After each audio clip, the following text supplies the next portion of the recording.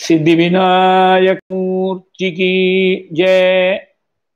गोपिका जीवन स्मरणं गोविन्द गोविन्द। जानकीकान्तस्मरणं जय जय। राम राम। हर हर नमः पार्वतीपतये। हर हर महादेव। श्री सद्गुरुस्वामिनः जय। आञ्जनेयस्वामिनः जय। सदा बालरूपापि विघ्नाद्रिहन्त्री महादन्तिवक्त्रापि पञ्चास्यमान्या, विधीन्द्रादिमृग्या गणेशाभिधा मे विधत्तां श्रियं कापि कल्याणमूर्तिः श्यामा काचन चन्द्रिका त्रिभुवने पुण्यात्मनामानने। सीमा शून्यकवित्ववर्षजननी याः कापि कादम्बिनी। महारारातिमनोविमोहनविधौ। काचित्तमः कन्दली काहमाक्ष्याः करुणाकटाक्षलहरी। काहमाय मे कल्पतां शारदा, शारदाम्भोजवदना।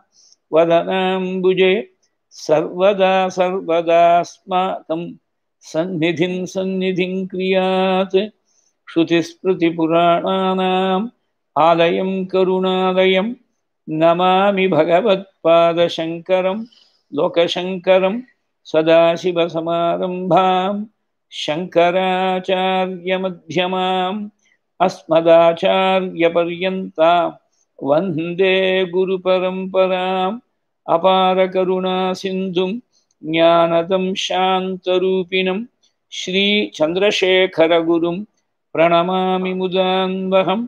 यदीयाङ्घ्रिचिन्ता सुपूता च वाणी यदीयं स्वरूपं सदा ध्यानयोग्यं, तमेवेन्दुचूडाख्यदिव्यावतारं मनोवाक्शरीरैः गुरुश्रेष्ठमीडे सदात्मध्याननिरतं विषयेभ्यः पराङ्मुखं नौमि शास्त्रेषु निष्णातं चन्द्रशेखरभारतीं दोर्भिर्युक्ता चतुर्भिः स्फटिकमणिमयीम् अक्षमालां दधाना हस्ते नैकेन पद्मं सितमपि च शुकं पुस्तकं चापरेण भासा कुन्देन्दुशङ्खस्फटिकमणिनिभा भासमाना, असमाना सा मे वाग्देवतेयं निवसतु वदने सर्वदा सुप्रसन्ना,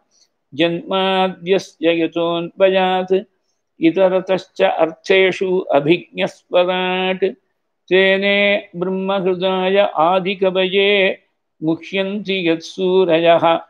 वारिमृदां यथा विनिमयः, यत्र सर्गो मृषा धाम्ना स्वेन सदा, निरस्तकुहकं सत्यं परं धीमहि, निगमकल्पतरोः गदितं फलं, शुकमुखात् अमृतद्रवसंयुतं पिबत भागवतं रसम्, आहालयं मुहुरहो रसिकाः भुवि भावुकाः यं प्रव्रजन्तमनुपेतमपेतकृत्यं द्वैपायनो विरहकातर आजुहावा पुत्रेति तन्मयतया तरवोऽभिनेदुः। तं सर्वभूतहृदयं मुनिमानतोऽस्मि।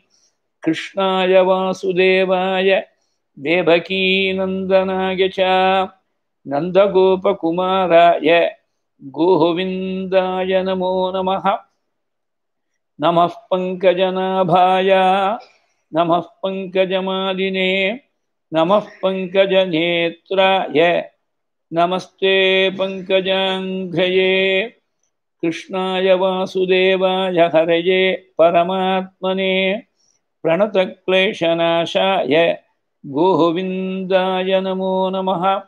यो हन्तः प्रविश्य मम वाचमिमां प्रसुप्तां सञ्जीवयत्यखिलशक्तिधरस्वधाम्ना अन्यांश्च हस्तचरणश्रवणत्वगादीनि।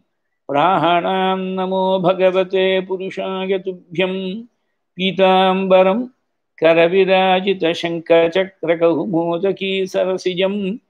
करुणासमुद्रं राधासहायम् अतिसुन्दरमन्दहासं वाहतादयेशमनिशं हृदि भावयामि।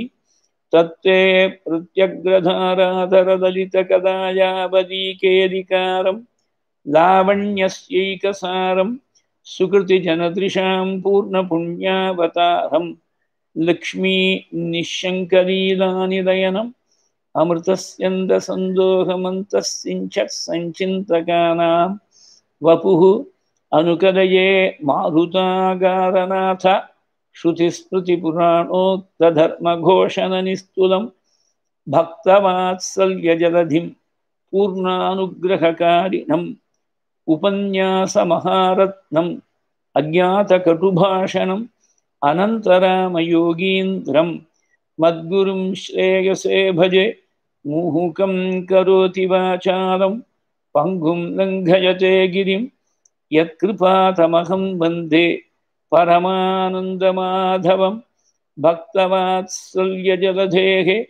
परमानन्दरूपिणः अस्मदाचार्यराजस्य प्रपन्नोऽस्मि पदाम्बुजं त्र्यम्बकपुराधीशं गणाधिपसमन्वितं गजारूढमहं वंदे शास्तारं कुलदैवतं विराजन्तं त्रिनयने वल्लीसेनापतिं प्रभुं वाञ्छितार्थप्रदं वन्दे षण्मुखं कुलदैवतं बुद्धिर्बलं यशो धैर्यं निर्भयत्वमरोगता अजाड्यं वाक्पटुत्वञ्च हनूमत्स्मरणात् भवेत् ஊனிடைச்சுவர் வைத்து கண்புதூண் நாட்டி உரோமம் மேய்ந்து ஒன்பது பாஷல் தானுடை குரம்பை பிரியும் போது உந்தன் சரணமே.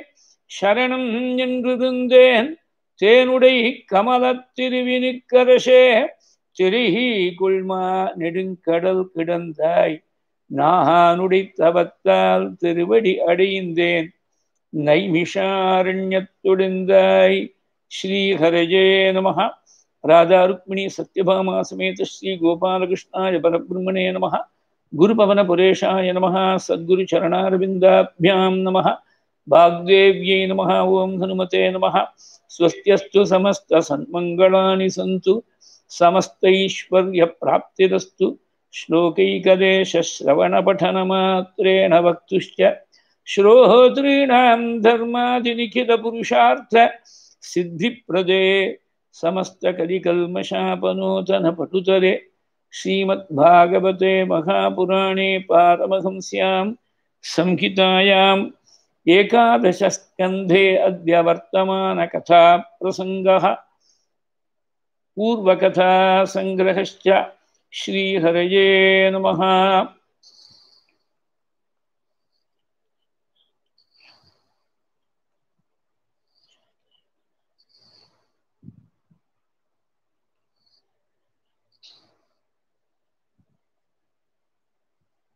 ஸ்ரீஹப்பதியான ஸ்ரீ குருவாயூரப்பனுடைய பரமானுகிரக விசேஷத்தால் நடந்து வரக்கூடிய இந்த சிரவணயஜத்தில் பக்தர்களுக்கெல்லாம் கொஞ்சம் அசௌரியம் இன்னைக்கு. ஒரு டெக்னிக்கல் ப்ராப்ளம் மறுபடியும் லிங்க் கிரியேட் பண்ணி மறுபடியும் ஆரம்பிக்க முடியாது ஆயிடுச்சு. அப்பப்போ ஏதாவது இது மாதிரி சுவாமி நமக்கு ஞாபகப்படுத்துவோம் அவருக்கு அதீனமாக இருக்கு. நாம் நினைக்கிற மாதிரி ஒரு காரியத்தை செய்ய முடியாது. பகவான் எப்படி சங்கல்பம் பண்ணுறாரோ அதுக்கு அடிபடிஞ்சு இருக்கிறது தான் நமக்கு பாகவதம் காட்டி கொடுக்கக்கூடிய ஒரு பெரிய பாடம் அது. பூர்வ சரித்திரத்தில் பகவான் உத்தவருக்கு உபதேசம் பண்ணிட்டு வராள் சாதுவுடைய லட்சணம் என்ன பக்தியை எப்படி அனுஷ்டிக்கணும்னு கேட்டாள் உத்தவர். ஏன்னா சாதுக்களை போய் ஆசிரியிச்சு சத் சங்கத்தால் ஏற்படக்கூடிய பக்தியால் என்னை வந்து அடைகிறாள். அஞ்சசா விந்த தேபதம் என் ஸ்தானத்தை சிரமம் இல்லாமல் வந்து அடைகிறாள் சாதுக்கள் போய் ஆராதிக்கப்படுவான்னு சொன்னார். சாதுனா யாரு? பக்தியுடைய லட்சணம் என்னன்னு கேட்டாள் இருபத்தோரு ஸ்லோகங்கள் பதினொன்றாவது அத்தியாயத்தில் கடைசி இருபத்தோரு ஸ்லோகங்கள் சுவாமி வாக்கால் வருஷத்திருக்காள் அஞ்சு ஸ்லோகங்களில் முப்பது லட்சணங்கள் பக்தனுடைய லட்சணத்தை சாதுவுடைய லட்சணத்தை சொன்னாள் விக்யாயைவம் குணாந்தோஷானு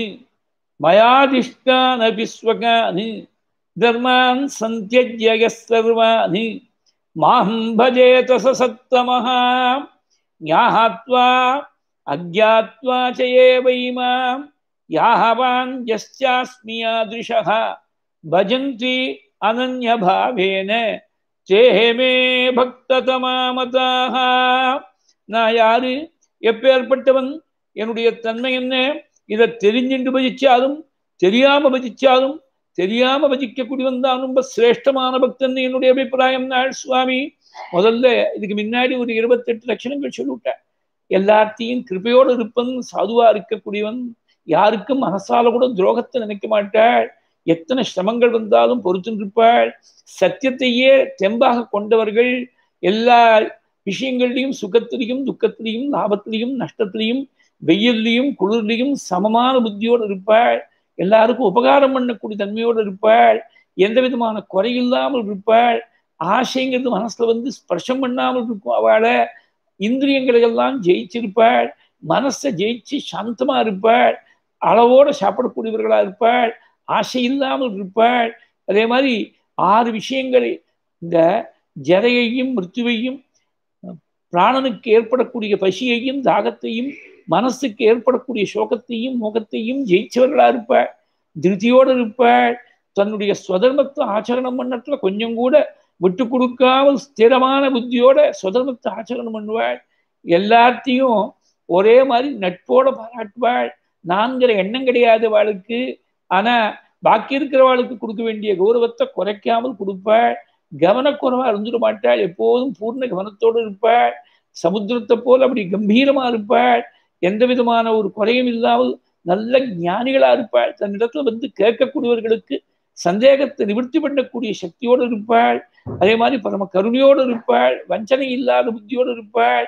இப்படியெல்லாம் என்னால உபதேசம் பண்ணப்பட்ட தர்மங்கள் வேதத்துல சொல்லப்பட்ட தர்மங்களை கூட அதையும் தாண்டி அந்த பக்தி பண்ணா போரும் பக்தியாலேயே சகல க்ஷேமங்களும் கிடைக்கும்னு தீவிரமா ஆராதிக்கக்கூடியவர்கள் இல்லை. பக்தியை அனுஷ்டானம் பண்ணதுனால நிவர்த்தி தர்மத்துக்கு அதிகாரிகளா போய் நிவர்த்தி தர்மத்துல இது செய்யணும் செய்யப்படாதுங்கிற விதி நிஷேதங்களுக்கெல்லாம் அப்பாற்பட்டு போய் வெறும் பகவத் பஜனத்தை மாத்திரம் செய்யக்கூடியவர்கள். அவர் தான் ரொம்ப சிறந்த சாதுக்கள்னு சொல்லி அதுக்கு மேல ஒரு எட்டு ஸ்லோகங்களில் பக்தியுடைய லட்சணம் இது மட்டும் பக்த லட்சணத்தை சொன்னாள். இதுக்கு மேல பக்தி லட்சணத்தை சொல்கிறாள் மல்லிங்க மத் பக்தஜன தர்ஷன தர்சன ஸ்பர்ஷனாதிக்கும் பரிச்சர்யா ஸ்துதி பிரக்வ குணகர்மானுவர்ணனம். மத்கதாஸ்ரவணே ஸ்ரத்தா மத் அனுத்தியானமுத்தவ சர்வலாபோபகரணம் தாஹாஸ்யேனாத்மநிவேதனம். பகவானையும் பகவானுடைய அடியார்களையும் போய் தரிசனம் பண்ணுறது இதெல்லாம் பக்திக்கு லட்சணமா மத் லிங்க மத் பக்தஜன தரிசன ஸ்பர்சனார்ச்சனம் லிங்கம்னா அடையாளம்னு அர்த்தம். பரமேஸ்வரனுக்கு ஒரு அடையாளமா பரமேஸ்வரனை ஞாபகப்படுத்தக்கூடிய சிம்பலா இருக்கிறதுனால சிவலிங்கம் அப்படின்னு சொல்றோம். மல்லிங்க பகவானை ஞாபகப்படுத்தக்கூடியது எதுவா இருந்தாலும் சரி அது ஒரு சாலக்கிராமமா இருக்கலாம் அது ஒரு விக்கிரகமா இருக்கலாம் அது ஒரு படமா இருக்கலாம் எல்லாமே இந்த லிங்கங்கிற வார்த்தையில அடங்கும். மல்லிங்க மத் பக்த ஜன தர்ஷன ஸ்பர்ஷனார்ச்சனம். தரிசனம் பண்ணுறது எங்க அனுமதமோ அங்க ஸ்பர்ஷம் பண்ணுறது. ஸ்பர்ஷங்கிறது எல்லா இடத்துலையும் சொல்ல முடியாது. நீங்க வடக்கெல்லாம் போனால் கோவில்தாஸ் சுவாமியை தொட்டு சேவிக்கலாம். சிதம்பரத்துலேயோ ராமேஸ்வரத்துலேயோ மதுரையிலையோ எங்கேயாவது தென்னாட்டில் இருக்கக்கூடிய க்ஷேத்திரங்களில் போனால் சுவாமி போய் தொட முடியுமோ? தூரத்துலேருந்து தான் தரிசனம் பண்ணோம் வடக்கு தொடராடே இங்கே என்ன தொட பண்ணணும்னு கேட்டால் அந்த தேசாச்சாரம் வேற இங்கே தேசாச்சாரம் வேற. அந்தந்த இடங்கள்ல தேசாச்சாரம் எப்படியோ அதுக்கு தகுந்தாப்புல தான் இருந்தாகணும். எங்கே அனுமதி இருக்கோ அங்கே தொடருது. அதே மாதிரி பாகவதத்து மொழியும் அப்படிதான். அவள் ஏதோ ஒரு அனுஷ்டானத்தில் நிஷ்டையில் இருக்கிறது போய் அவளுடைய ஆச்சாரத்துக்கு குறை வரும்படியா டக்குன்னு போய் தொட்டுவிடக்கூடாது இது ரொம்ப பேருக்கு இது தெரியணும். அபிவாதேஸ்வரி நமஸ்காரம் பண்ணுவா. காலை தொட்டுடுவா. அவ யாருக்கு நமஸ்காரம் பண்ணுறாளோ அவன் மடியாக இருந்தா இவன் வரக்கூடியவன் விழுப்பாக இருந்துட்டான் காலை சொல்ல வேண்டாம் கிட்டக்க போய் அபிவாதேஸ்வரி மேலே படாமல் நமஸ்காரம் பண்ணாலே போகிறோம் அது காலை தொடர்ந்து மனசால சரணத்தை போய் கெட்டியாக பிடிச்சிக்கிறதுங்கிறது ஃபிசிக்கலாக பிடிக்கிற சொல்லலை. ஃபிசிக்கலாக பிடிச்சா அவர் நகரவே முடியாது அப்புறம். யாரோ ஒரு பெரியவருடைய காலை போய் கட்டியா பிடிச்சு விட்டா அவர் நகரவே முடியாத. மனசால காலை பிடிச்சிக்கணுங்கிறது தான் விஷயம். குருவுடைய சரணத்தை மனசால கட்டியாக பிடிச்சிக்கணும். எங்க சம்மதம் இருக்கோங்க தொடர்ந்து பகவானையும் பகவதோத்தபடியும் அர்ச்சனை பண்ணுறது பரிச்சர்யா ஸ்துதி பிரக்வ குணகர்மானு வர்ணனு. பரிச்சரிய சேவை பண்ணுறது. பகவானுக்கு சேவை. பகவானுக்கு சேவைனாக்க கோவிலை சுத்தமாக வச்சுக்கிறதுக்காக தன்னால் முடிஞ்ச ஃபிசிக்கல் எஃபர்ட் சில பேர் உடம்பால் முடியல அவ யாரோ அதை சேவை பண்ணுறதுக்காக ஒருத்தர் நியமனம் பண்ணி அவளுக்கு கொடுக்க வேண்டிய சம்பளத்தை தான் அவள் பார்த்துட்டு இருக்காள். ஸ்ரீமானாக இருக்கக்கூடியவர் வசதியாக இருக்கக்கூடியவர் அப்படி செய்கிறார். அப்படி செய்யலாம். உன்னால் முடிஞ்சால் ஃபிசிக்கலாக செய்கிறது வசதி. அது மாதிரி கோவிலை சுத்தம் பண்ணுறது புஷ்பங்களை ஆஞ்சு கொடுக்கறது வேற சுவாமி அபிஷேகத்துக்காக தீர்த்தம் கொண்டு வருது இதெல்லாம் பகவானுக்கு செய்யக்கூடிய பரிச்சரியாக இருக்கும். பாகவதோத்தமர்களுக்கு அவளுக்கு என்ன தேவையோ அவளுக்கு ஸ்நானத்துக்கு வசதி பண்ணி கொடுக்கறது அவளுக்கு நல்ல திவ்யமான போஜனத்துக்கு ஏற்பாடு பண்ணுறது அவள் பகவானை ஆராதனை பண்ணுறதுக்கு என்ன தேவையோ அந்த தேவையான பொருளெல்லாம் கொண்டு வந்து சேர்க்கறது எல்லாத்துக்கும் மேலே அவளுக்கு அனுகூலமான ஒரு ஒரு சன்னிவேஷத்தை நம்மால் முடிஞ்ச மட்டும் அமைச்சு கொடுக்கறது.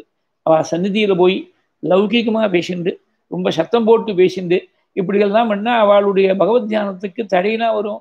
அந்த தடை வராதபடி நடந்துக்கிறது. இதெல்லாம் பரிச்சரிய சேவையில செய்யணும் பரிச்சரியா ஸ்துதி பிரக்வ குணகர்மானு கீர்த்தனு.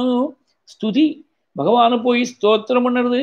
கோவிலில் போனால் அந்தந்த சந்நிதியில் தெரிஞ்ச ஸ்லோகங்கள் அந்த சுவாமி மேலே இருக்கக்கூடிய ஸ்லோகங்களை அஷ்டோத்திரம் தெரிஞ்சால் அஷ்டோத்திரத்தை சொல்கிறது அங்கே போய் வீண் வம்பு பேசியிருக்கிறார். கோவிலில் போய் யாரோ நமக்கு வேண்டியவா தான் வேண்டிய வாழ்க்கை பார்த்து ஏதோ குஷலம் கேட்கணும் லௌகீகமான காரியங்கள் பேசணும்னா கோவில்லேருந்து வெளியில் வந்தப்பறம் இல்லை வாரத்தில் போயோ ஃபோன்லேயோ வேறு ஏதாவது விதத்தில் கேட்டுக்கலாம்.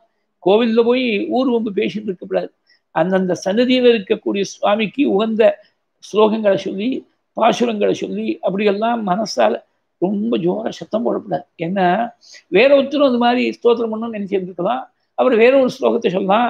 அவர் ஸ்லோகம் சொல்ற போது அதுக்கு அவருக்கு தடையா இருக்கப்படாத. நாம சொல்றது மனசுக்குள்ள இருந்தா போதும்.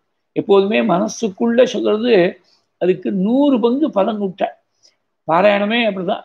மனசுக்குள்ள பண்ணி விட்டா நூறு பங்கு பலன். வாயை விட்டு படிக்கிறத விட ஜபமும் அப்படிதான். மனசுக்குள்ள பண்ணா ரொம்ப வசதியான பலம் வேதம் மாத்திரம் வாயை விட்டு சொல்லணும்னு இருக்கு உபாமிஷுவா சொல்லப்படாதுன்னு சாஸ்திரம் சொன்னதுனால அந்த வேதம் மாத்திரம் வெளியில உதட செஞ்சு சப்தம் வர முடியா அது கூட பல வேதங்கள் பல பேர் பாராயணம் பண்ணிருக்கானாக்க எல்லாருக்கும் அனுகூலமாக இருக்கணும். நம்ம பாராயணம் பண்ணுறது வேற ஒருத்தருக்கு தொந்தரவு கொடுக்கக்கூடியதாக இருக்கக்கூடாது. அது நல்லா சிராவியமா இருந்தால் போதும். ரொம்ப ஒரேடியாக ஊரே அலரும்படியாக சத்தம் போடணும்னு அவசியம் இல்லை. ஒரு சிராவியமாக இருந்தால் போதும். வேற பாராயணமானது. ஸ்தோத்திரங்கள்லாம் மனசுக்குள்ளே கோவிலில் வரும்போது நிறையவே நூற்றுக்கணக்கான ஜனங்கள் வருவா யாருக்கும் சமம் இல்லாம நாம பண்ணக்கூடிய பக்தியில இது ரொம்ப முக்கியம். அதை ராமாயணத்துல சொல்ற போது அக்லிஷ்ட விரத தர்மஜான்னு சொன்னாள் குஷல பத்தி சொல்ற போது ஒருத்தருக்கு சிரமமே கொடுக்காமல் தர்மத்தை எப்படி அனுஷ்டானம் பண்ணுறதுன்னு தெரியுமா? பிரம்மாவுடைய புத்தர் அவர் அவருடைய வம்சத்துல வந்த பாபான் கௌசிக வம்சம்னு விஸ்வாமித்திரர் அந்த வம்சத்துலதான் வந்தாள் அந்த கதையை ஆரம்பிக்கிற போது அக்லிஷ்ட விரத தர்மஜா சஜ்ஜன பிரதிபூஜகா பரிச்சரியா ஸ்துதிஹி. அப்படி பகவானை போய் ஸ்தோத்திரம் பண்ணுறது. ஒரு விஷ்ணுவுடைய சந்நிதியில் போனாக்க அப்படி சாந்தாகாரம் புஜகசேனம் பத்மநாபம் சுரேஷம் விஸ்வாதாரம் ககனசதிஷம் மேகவர்ணம் சுபாங்கம் லக்ஷ்மீகாந்தம் கமலநயனம் யோகி கிருத்தியானகம்யம் வந்தே விஷ்ணும் பவபயகரம் சர்வலோகைகநாதம். பிள்ளையாற்ற போகிறபோது சதாபால ரூபாபி விக்னாத்ரிகந்திரி மகாதந்தி வக்திராபி பஞ்சாஸ்யமான்யா விதீந்திராதிமிருக்யா கணேஷாபிதாமே விதத்தாம் ஸ்ரீயம் காபி கல்யாணமூர்த்திகி சில தெய்வங்களுக்கெல்லாம் சின்னதா நாம பதினாறு நாம இருக்கு பிள்ளையாருக்கு இந்த பிள்ளையார் சந்தியில போறதுக்குள்ள சொல்லிவிடலாம் ஒரு செகண்ட்ல அத சுமுகச்சைகதந்தஸ்ச கபிலோ கஜகர்ணகா லம்போதரஸ்ச விகடா விக்னராஜோ விநாயகः धूमकेतुर्गणाध्यक्षः பாலச்சந்திரோ கஜானன வக்ரதுண்ட சூர்பகர்ண ஹிரம்பஸ்கந்தபூர்வஜ ஷோடசீதானி நாமானி எப்பட்டே சுனுயாதபி வித்யாரம்பே விவாகே ச பிரவேஷே நிர்கமே ததா சங்கிராமே சர்வகாரியேஷு விக்னஸ்தஸ்ய நஜாயதே. எல்லாருக்கும் கேட்கணுங்கிறதுனால நான் கொஞ்சம் கேட்கும்படியான ஆடிபிள் வாய்ஸ்ல சொல்ல வேண்டியிருக்கு உபன்யாசத்துல. நாம தனிப்பட்ட முறையில் பிள்ளையாட்டு போய் பிரார்த்திக்கிற போது மனசு கூட சொன்னால் இப்ப நான் சொன்ன டயத்துல பாதி டயத்துல முடிச்சுடலாம். இந்த பதினாறு நாம அவையும் அந்த மாதிரி அம்பாள் அம்பாளையும் நினைச்சுண்டு அங்க இருக்கக்கூடிய பரமேஸ்வரனையும் சேர்த்து தியானம் பண்ணோம்னா எத்தனை ஸ்லோகங்களை மகான்கள்லாம் அனுகிரம் பண்ணி கொடுத்துருக்காள்.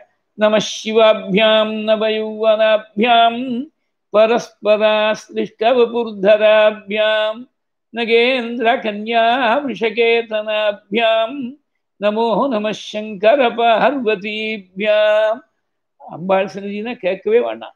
எத்தனை ஸ்லோகங்கள்? அந்தந்த அம்பாள் மேல எத்தனையோ ஸ்லோகங்கள் தான் இருக்கு.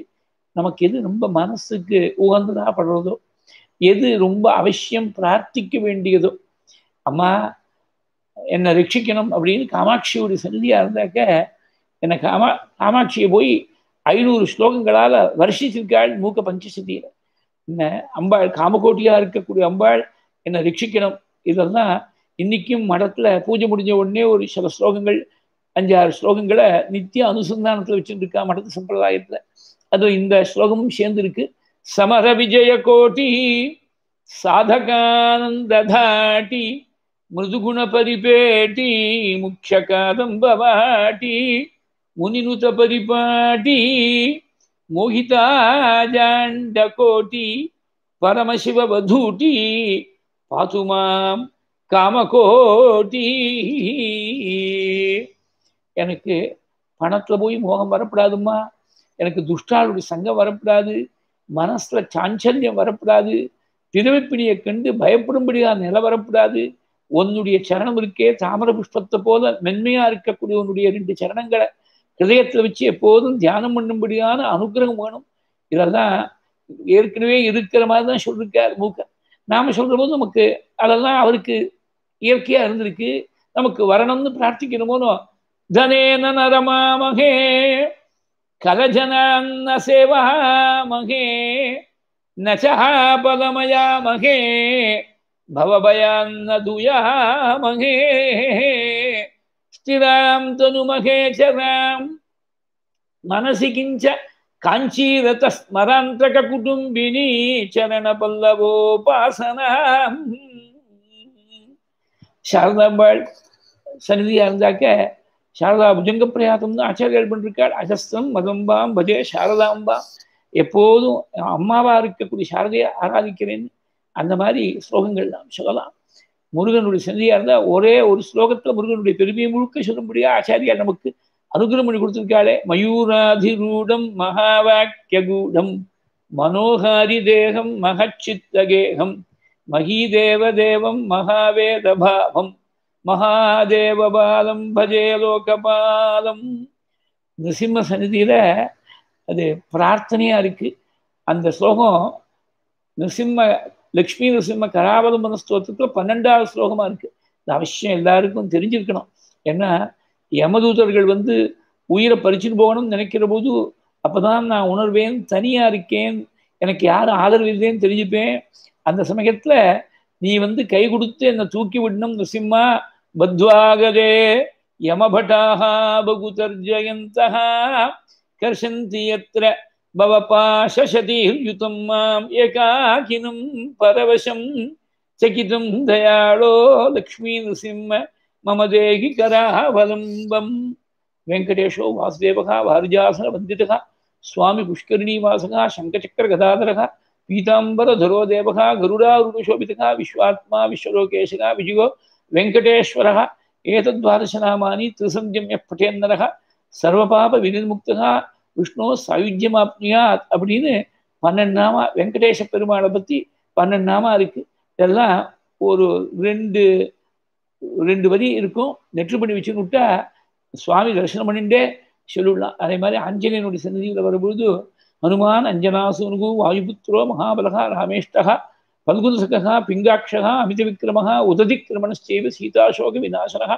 லக்ஷ்மண பிராணதாதா ச நிசக்ரீவஸ்த தர்பகா द्वादशैतानि नामानि कपीन्द्रस्य महात्मनः स्वापकाले पठेन्नित्यं यात्राकाले विशेषतः तस्य मृत्युभयं नास्ति सर्वत्र विजयी भवेत् अपराजितपिङ्गाक्षा नमस्ते रामपूजिता प्रस्थानं च करिष्यामि சித்திர் பவத்து மே சதா இது முழுக்க தெரியலேனாக்க தெரிஞ்ச ஸ்லோகம் ஏதாவது சொல்லலாம் மனோஜவம் மாருதுல்ய வேகம் ஜிதேந்திரியம் புத்திமதாம் வரிஷ்டம் வாதாத்மஜம் வானர யூத முக்கியம் ஸ்ரீராமதூதம் சிரசா நமாமி குருவாயூர்ப்பன் சன்னிதியில் போகிறது பீதாம்பரம் கரவிராஜித சங்கச்சக்கர கௌமோதிகி சரசிஜம் கருணா சமுத்திரம் ராதாசகாயம் அதிசுந்தர மந்தகாசம் வாதாலேஷ மனிஷம் ஹிருதி பாவயாமி. சாஸ்தாவுடைய சன்னதியாக இருந்துட்டா திரையம்பக புராதீஷம் கணாதிப சமன்விதம் கஜாரூடமகம் வந்தே சாஸ்தாரம் குலதெய்வதம். இப்படி அந்தந்த தெய்வத்துக்கு தகுந்தாப்புல ஒரு ஸ்லோகத்தை ரெண்டு ஸ்லோகத்தை சொல்லி மனசால பிரார்த்தனை பண்ணி ஸ்தோத்திரம் பண்ணுறது. பரிச்சவியா ஸ்துதி பிரக்வ குணகர்மானு கீர்த்தனகும் பிரக்வன்னு சொன்னா நமஸ்காரம்னு அர்த்தம். கோவில்களில் சம்பிரதாயம் எப்படின்னாக்கா துவஜஸ்தம்பம் இருக்கக்கூடிய கோவிலாக இருந்தா இந்த துவஜஸ்தம்பத்துக்கு வெளியில் தான் நமஸ்காரம் பண்ணோம். எந்த திசை சரியான திசை தெக்க பார்த்து நமஸ்காரம் பண்ணக்கூடாது. சாதாரணமாக கோவில்களில் அவளே ஒரு ஆரோ பெயிண்ட் பண்ணி வச்சிருப்பா. தெற்கு வடக்கா இருக்கக்கூடிய ஆக்சிஸாக இருந்துட்டா இது வடக்குன்னு காட்டுறதுக்காக ஒரு ஆரோ மார்க் பண்ணி வச்சிருப்பா. அந்த திசையை பார்த்து நமஸ்காரம் பண்ணா போதும். கேரளாவில் பல கோவில்களில் நமஸ்கார மண்டபம்னு உண்டு. பிராமணால் இருக்க மாத்திரம் அந்த மண்டபத்திலேயே நமஸ்காரம் பண்ணுறதுன்னு சம்பிரதாயம் கேரளத்தில். மொத்தத்தில் நமஸ்காரம் பண்ணோம். நமஸ்காரம் வெறும் சரீரம் மாத்திரம் நமஸ்காரம் பண்ணா போறாது நமஸ்காரம் பண்ணும்போது புருஷாலாக இருந்தால் சாஷ்டாங்கமாக நமஸ்காரம். சாஷ்டாங்கம்னா எட்டு அங்கங்கள் பூமியில் படுறோம் ஸ்திரீகளுக்கு பஞ்சாங்க நமஸ்காரம் தான். தோளும் மார்பும் வயரும் பூமியில படப்படாது. ஏன்னா குழந்தைய சுமக்கக்கூடிய வயது அந்த குழந்தைய வளர்க்கக்கூடிய மார்பு அதெல்லாம் கீழே பூமியில படப்படாது. அவளுக்கு அஞ்சங்கங்கள் தான் படிக்கும். கீழே பூமியில படலாம். அப்படி புருஷா ஸ்திரீலாட்டமா பண்றா இப்ப ரொம்பவே. அது சரியில்லை. சாஷ்டாங்கமா புருஷனா இருக்கிறவன் சாஷ்டாங்கமா நமஸ்காரம் பண்ணும். அது ஏதோ பஸ்கி அடிக்கிற மாதிரி கீழே முரங்கால்னா பூமியில படாத கை நுனியையும் கால் நுனியை மாத்திரம் ஊனின்று ஏதோ அப்படி பண்ணா பிரயோஜனம் இல்லை. நல்லா சாஷ்டாங்கமா தண்ட சமர்ப்பிக்கிறதுன்னு சொல்லுவா வைஷ்ணவ சம்பிரதாயத்துல. எல்லாத்துக்கும் மேலாக நமஸ்காரம் பண்ற போது தனக்கு ஒன்றும் யோகியதை இல்லை பகவானுடைய கிருப்பதான் நமக்கு கதிங்கிற பாவம் மனசுல ரொம்ப முக்கியம். அதனால்தான் மனசால நமஸ்காரம் முதல்ல சிரஸால சிரஸ் படிஞ்ச நமஸ்காரத்தை அப்புறம் தான் சொன்னேன். தியாகேர்வாள் ரொம்ப பிரசித்தமான கீர்த்தனை. அந்த சித்தரஞ்சனி கீர்த்தனையில பரமேஸ்வரன் நான் முதல்ல நமஸ்காரம் பண்றேன் மனசால. அப்புறமா சிரஸால் நமஸ்காரம் பண்றேன்னு முதகர நிகமோத்தம சாம வேத சாரம் வாரம் வாரம் முதகர நிகமோத்தம சாம வேத சாரம் வாரம் வாரம் நாத தனுமனிஷம் சங்கரும் நமாமி மனசா சிரசா நாத தனுமனிஷம். மனசா சிரசா அப்படி போய் திரும்பி திரும்பி நமஸ்காரம் பண்ண பகவானுக்கு. ஒரு முறை பண்ணா போதாது. வாரம் வாரம் தான் வாரம் வாரம்னா திருப்பி திருப்பி நமஸ்காரம் பண்ணுறது. பரிச்சர்யா ஸ்துதி பிரக்வ குணகர்மானு கீர்த்தனம். பகவானுடைய குணங்களையும் அவன் செய்த லீலைகள் அவனுடைய கர்மாக்கள் இதையெல்லாம் கீர்த்தனம் பண்ணுறது. அது பக்திக்கு இதெல்லாம் லட்சணம். ஒரு விஷ்ணு சஸ்நாம பாராயணம் பண்ணுறது அம்பாள் சன்னிதியாக இருந்தால் ஒரு லலிதா சஸ்நாம பாராயணம் பண்ணுறது இதெல்லாம் பரிச்சரியா ஸ்துதி பிரக்வ குணகர்மானு கீர்த்தனம். லலிதா சஸ்தாமத்துக்கு அம்பாள் சம்பந்தமான மந்திரம் ஏதாவது உபதேசம் இருக்கணும். அப்படி இருந்தால் தான் பண்ணலாம். இது விஷ்ணு சஸ்நாமம் ரிஷிகள் சொல்லியிருக்கக்கூடிய நாமாக்களாக இருக்கிறதுனால ரிஷிபி பரிகீதானி இருக்கிறதுனால ஏற்கனவே முன்னாடி சொன்ன விஷயம்தான். வேதத்துக்கு யார் அதிகாரிகளோ அவள் தான் இதை பாராயணம் பண்ணலாம். கேட்டாலே நமக்கு அதே புண்ணியம். பாக்கி இருக்கிறவா யாருக்கு அதிகாரித்துவம் இல்லையோ அவ சிரவணம் பண்ணாலும் அதே பலன் தான் அதனால்தான் வித்தியாசம் இல்லாமல் பலத்துல வித்தியாசம் இல்லை. அதிகாரித்துவம் தான் வித்தியாசம். எய்தம் சுனியா நித்தியம் எஸ்டாபி பரிகீர்த்தையேது அப்படின்னு ரெண்டு விதமா பிரிச்சுட்டாள். இந்த ஸ்ரோதாக்களாக வக்தாக்களாக ரெண்டு பாகமா பக்தாளை பிரிச்சுட்டாள் கடைசியில உத்தரார்த்தத்துல. அப்படி தெரிஞ்ச ஸ்தோத்திரத்தை போய் சொல்றது பகவானுடைய குணங்களை கீர்த்தனம் பண்ணுறது பரிச்சர்யாஸ்துதி பிரக்வ குணகர்மானு கீர்த்தனம் இங்க பாகவதத்துல பகவான் சொல்ற போது கூட பாருங்கோ கீர்த்தனத்தை சொன்ன உடனே உடனே சிரவணத்தை சொல்றேன். ஏன்னா எல்லாருக்கும் கீர்த்தனங்கிறது சாத்தியமா இல்லாமல் இருக்கலாம். ஆனா சிரவணங்கிறது எல்லாருக்கும் சாத்தியமான காதுன்னு ஒண்ணு இருந்து கேட்கக்கூடிய சக்தி இருந்துட்டா மத்கதாஸ்ரவணே ஸ்ரத்தா அடுத்த ஸ்லோகம். மத்கதாஸ்ரவணே ஸ்ரத்தா. மத் அனுத்தியானமுத்தவா. மக்கதா சிரவணே ஸ்ரத்தான. அதால கேளுன்னு மாத்திரம் சொல்ல. கேட்கறதுல ஒரு ஸ்ரத்த வேணும்னு. ஏதோ பொழுதுபோக்குக்காக கேட்கக்கூடிய விஷயம் நினைக்காத. ஆற்றுல புழுக்கமா இருக்கு வெளியில எங்கேயோ கோவிலில் போய் உட்கார்ந்தா நாலு பக்கத்துலயும் வெட்டவெடியா இருக்கு காத்தோட்டமா இருக்குங்கிறதுக்காக போய் உட்காராத. நாங்க வெறுமனே கேட்கதானே கேட்குறோம்னு சில பேர் சொல்லுவா. கேட்கறது ஒன்றும் குறை இல்லை அது ஒன்றும் சாதாரணமான விஷயம் இல்லை. சிரவணமே மோட்ச பரியந்தம் பலத்தை கொடுத்துடும். சிரவணத்தால மோட்சம் அடைஞ்சவர்கள் ரெண்டு பேர் ஒன்று பாகவதத்துல பரீட்சித்து சிரவணத்தாலேயே சிரஞ்சீவியா பிரகாசிக்கக்கூடியவர் ராமாயணத்துல ஆஞ்சநேய சுவாமி. எங்க ராமாயணம் நடந்தாலும் யாரு சொன்னாலும் யாருக்கும் கண்ணுக்கு தெரியாமல் அந்த மகானுபாவர் அப்படி ரோமாஞ்சமான சரீரத்தோடு கூட ஆனந்த பாஷ்பத்தை பெருக்கிண்டு கூப்பின கையோட தலைக்கு மேல அந்த கையை பிச்சுண்டு அப்படியே குனிஞ்ச தலையோட கண்ணு கண்ணீருமா சிரவணம் பண்றாரு. எத்திர எத்திர ரகுநாத கீர்த்தனம். தத்திர தத்திர கிருதமஸ்தகாஞ்சலியும் பாஷ்பவாரி பரிபூர்ணலோச்சனம் மாருதியும் நமத ராட்சசாந்தகம். இது எல்லாருக்கும் தெரிஞ்ச ஸ்லோகம். அதனால்தான் ராமாயணம் எங்க நடந்தாலும் பாராயணமா இருந்தாலும் பிரவச்சனமா இருந்தாலும் ஆஞ்சநேயருக்கு ஒரு ஆசனம் போட்டுடுவாள் அந்த மகானுபாவர் வந்து உட்கார்ற அதான் ஐதீக்கியம் இதெல்லாம் நம்ம கண்ணுக்கு தெரிய மாட்டா ஏன்னா அவ்வளவு தபஸ் நமக்கு இல்லையே. அவ்வளவு பக்தி இல்லையே. ஆனா மகான்களுடைய கண்ணுக்கு தென்படுவர் ஆஞ்சநேய சுவாமி. இந்த மாதிரி சிரவணங்கிறது ரொம்ப வசத்தியான தர்மம் அது ஸ்ரத்தையோடு இந்த சிரவணமே நமக்கு மோட்சத்தை கொடுத்துடும் பகவானை காட்டி கொடுத்துருங்கிற ஸ்ரத்தையோட மத்கதா சிரவணே ஸ்ரத்தா சிரவணத்துல சிரத்தேன்னு சொன்னா போறாது. பகவானுடைய கதையை கேட்கறதுல சிரவணம் பண்ணத்துல ஸ்ரத்த மதனுத்தியான முத்தவா திருப்பி திருப்பி என்ன நினைச்சு பார்க்கறது? அப்படியே ஒரு நிமிஷம் ஃப்ரீயா கிடைச்சதுன்னா பகவானை தரிசனம் பண்ணுற போது பிரத்யட்சமா பார்க்குறோம். கோவில்ல எப்போது இருக்க முடியுமோ ஆற்றுல இருக்கிற போது தரிசனம் பண்ண ரூபத்தை மனசு அப்படியே நினைச்சு பார்க்கணும்.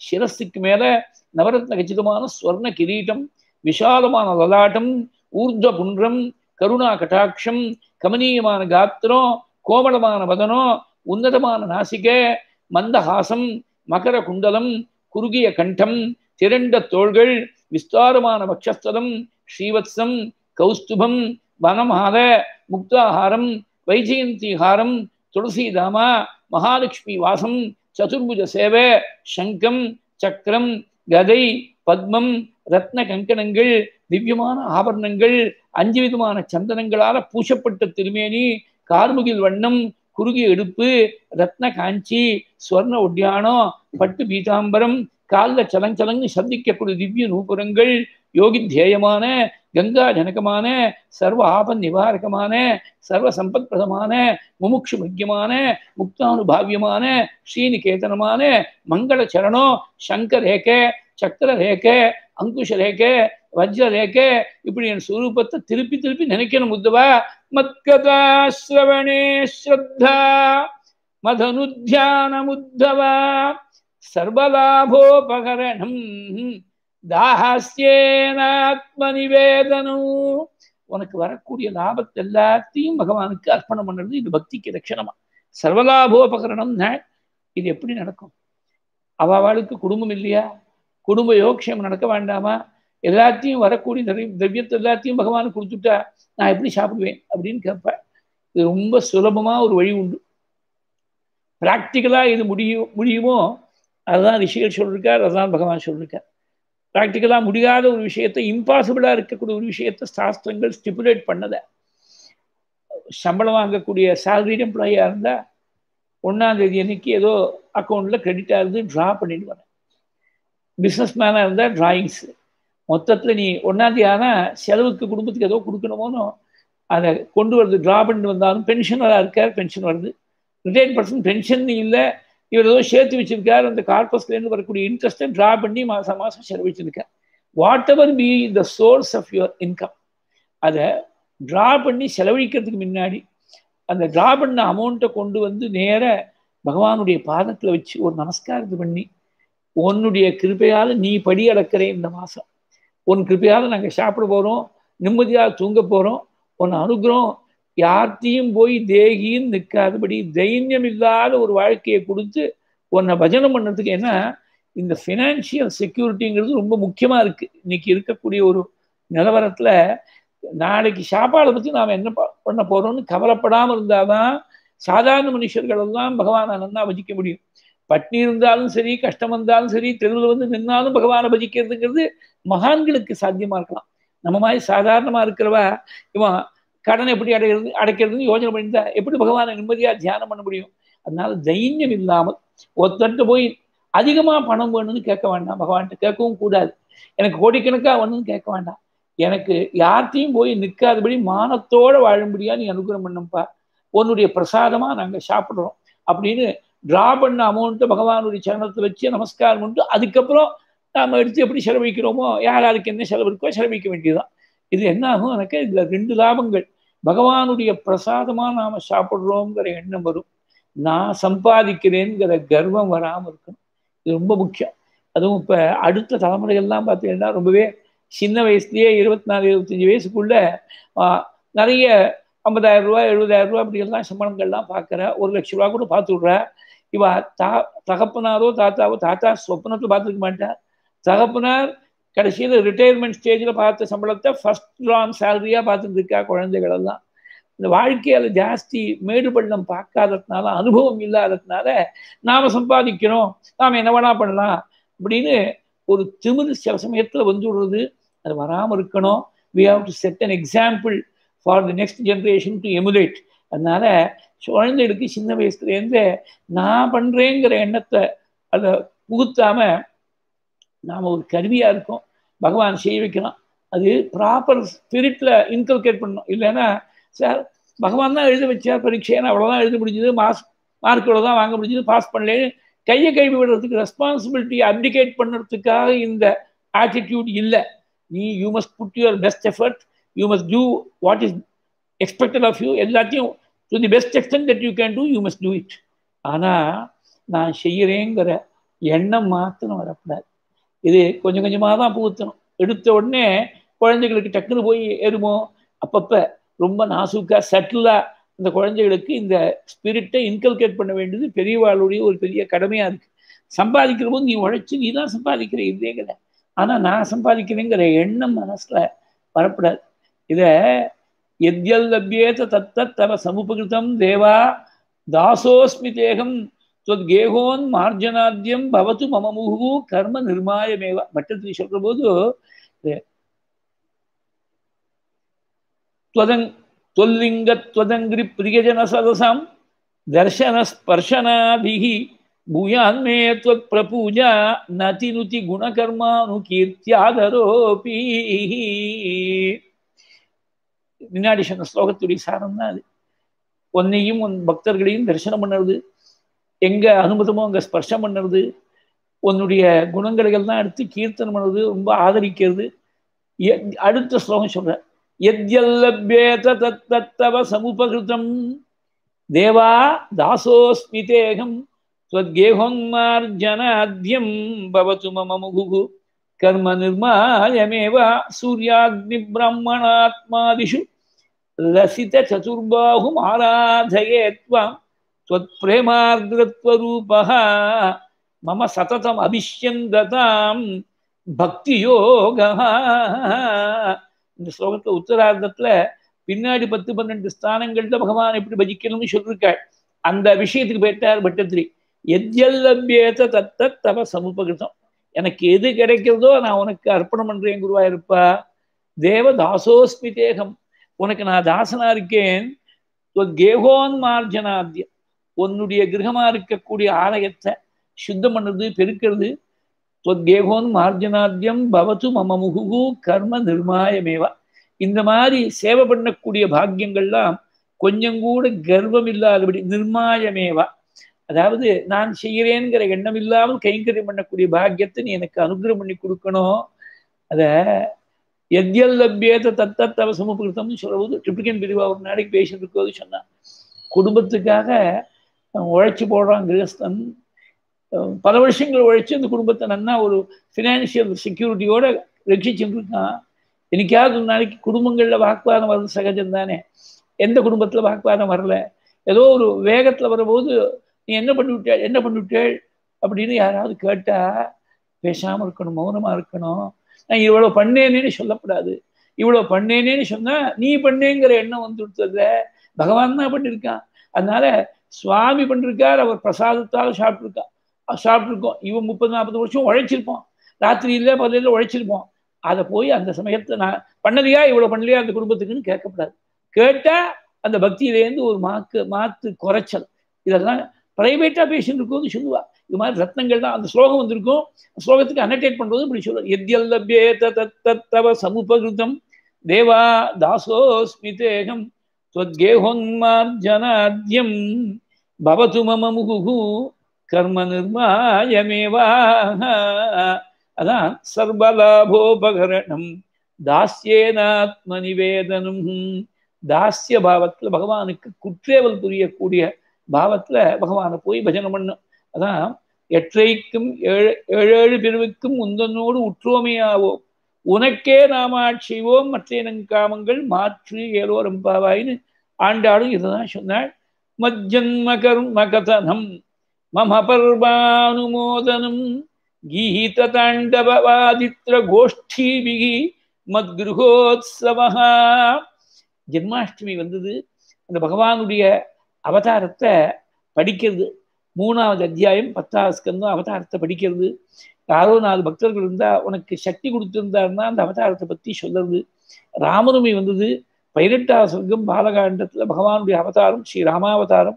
அந்த சர்க்கத்தை பாராயணம் பண்ணுறது. நாலு பேர் கேட்கணும்னு ஆசைப்படுறது. இது ரொம்ப முக்கியம். சில பேர் அப்படி திடீர்னு கேட்பா நீங்க கொஞ்சம் யாராவது சொல்லுங்களேன் ராமாவதாரம் சொல்லுங்களேன் அப்படின்னு சொன்னாக்க பிகு பண்ணிக்கப்படாது என்ன கேட்கணும்னு ஆசைப்படுற வாழ்க்கை சொல்றதுக்காக தானே பகவான் உனக்கு இந்த சக்தியை கொடுத்துருக்க. இந்த சக்தி உங்ககிட்ட இருக்குங்கிறதுனால தானே உங்ககிட்ட வந்து கேட்குறா யாரோ. அந்த சமயத்தில் பிகு பண்ணிக்கப்படாது ஒத்தரா இருந்தாலும் சொல்லணும். பத்து பேர் இருந்தாலும் சொல்லணும். ஒத்தரா இருந்தாலும் சொல்லணும். அதே மாதிரி கொஞ்சம் கூட வித்தியாசம் இல்லாதபடி ஒத்தரா இருந்தாலும் ஆத்மார்த்தமா சொல்லணும்.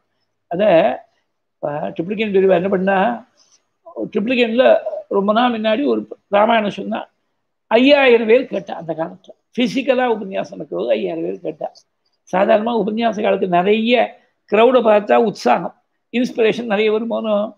இவர் கூட்டம் சேரப்படாது கூட்டம் சேர்ந்தா நமக்கு ஏதோ கர்வம் வந்துடுமே அப்படின்னு சொல்லி இந்த பட்டாபிஷேகம் முடிஞ்ச உடனே சுவாமிகிட்ட போய் பிரார்த்திச்சிருந்தார். எனக்கு கூட்டம் சேர்க்காம நீ அனுகிரகம் பண்ணும் அப்படின்னு பிரார்த்திச்சிருந்தார். அடுத்த ராமாயணம் ரெண்டே ரெண்டு வயசான பாட்டிகள் கேட்டா. அது மாதிரி ஐயாயிரம் பேர் கேட்டாலும் சரி ரெண்டே ரெண்டு பாட்டி கேட்டாலும் சரி மொத்தத்துல யாராவது சொல்லணும்னு கேட்டா சொல்லணும். இது சொல்லக்கூடிய திறமை இருக்கிறவாளுக்கு இருக்கக்கூடிய ஒரு தர்மம் இது. அதான் மம ஜென்மானுகதனம் மம பர்வானுமோதனம் மஜ்ஜன்ம கர்ம கதனம் மம பர்வானுமோதனம் கீததாண்டவாதித்ர கோஷ்டீபிகி மத்கிருஹோத்சவ பகவானுக்கு இருக்கக்கூடிய உற்சவங்கள் தினம் தினம் பண்ணக்கூடிய தைனிகமான உற்சவம் அப்புறம் மாசம் மாசம் செய்யக்கூடிய உற்சவங்கள் வருஷத்துக்கு ஒரு முறை செய்யக்கூடிய பிரம்மோத்சவம் முதலிய உற்சவங்கள் மாசோத்சவம் பக்ஷோத்சவம் வார்ஷிக உற்சவம் இந்த உற்சவங்களுக்கெல்லாம் பேரி முதலிய வாத்திய கோஷங்களோடு கூட மேலதாள வாத்திய கோஷங்களோடு கூட ஏற்பாடு பண்ணி செய்யறது. கீத தாண்டவ வாதித்திர கீதம். அப்படி பகவான ஊர்வலமா அழிச்சுன்னு போற பொழுது உனக்கு தெரிஞ்சிருந்தா நாலு கீர்த்தனைகள் பஜனை சம்பிரதாயத்தை பாடிட்டு போறது. ரோட்ல போற போது நகர பஜனை பண்ணுற போது தாண்டவம் பண்ணிட்டு ஆடிண்டே பாடிட்டு போறது. கீததாண்டவ வாதித்ர கோஷ்டி பிகி மத்கிருஹோத்சவ அந்த பஜனை பண்ணுறதுக்குன்னு ஒரு கோஷ்டி வேத பாராயணம் பண்ணுறதுக்குன்னு ஒரு கோஷ்டி. இந்த மாதிரி கோஷ்டிகள்லாம் அமைச்சு பகவானுடைய உற்சவத்தை கோலாகலமாக கொண்டாடுறது கீத தாண்டவ வாதித்ர கோஷ்டி பிகி மத்கிருஹோத்சவ மஜ்ஜன்ம கர்ம கதனம் மம பர்வானுமோதனம்.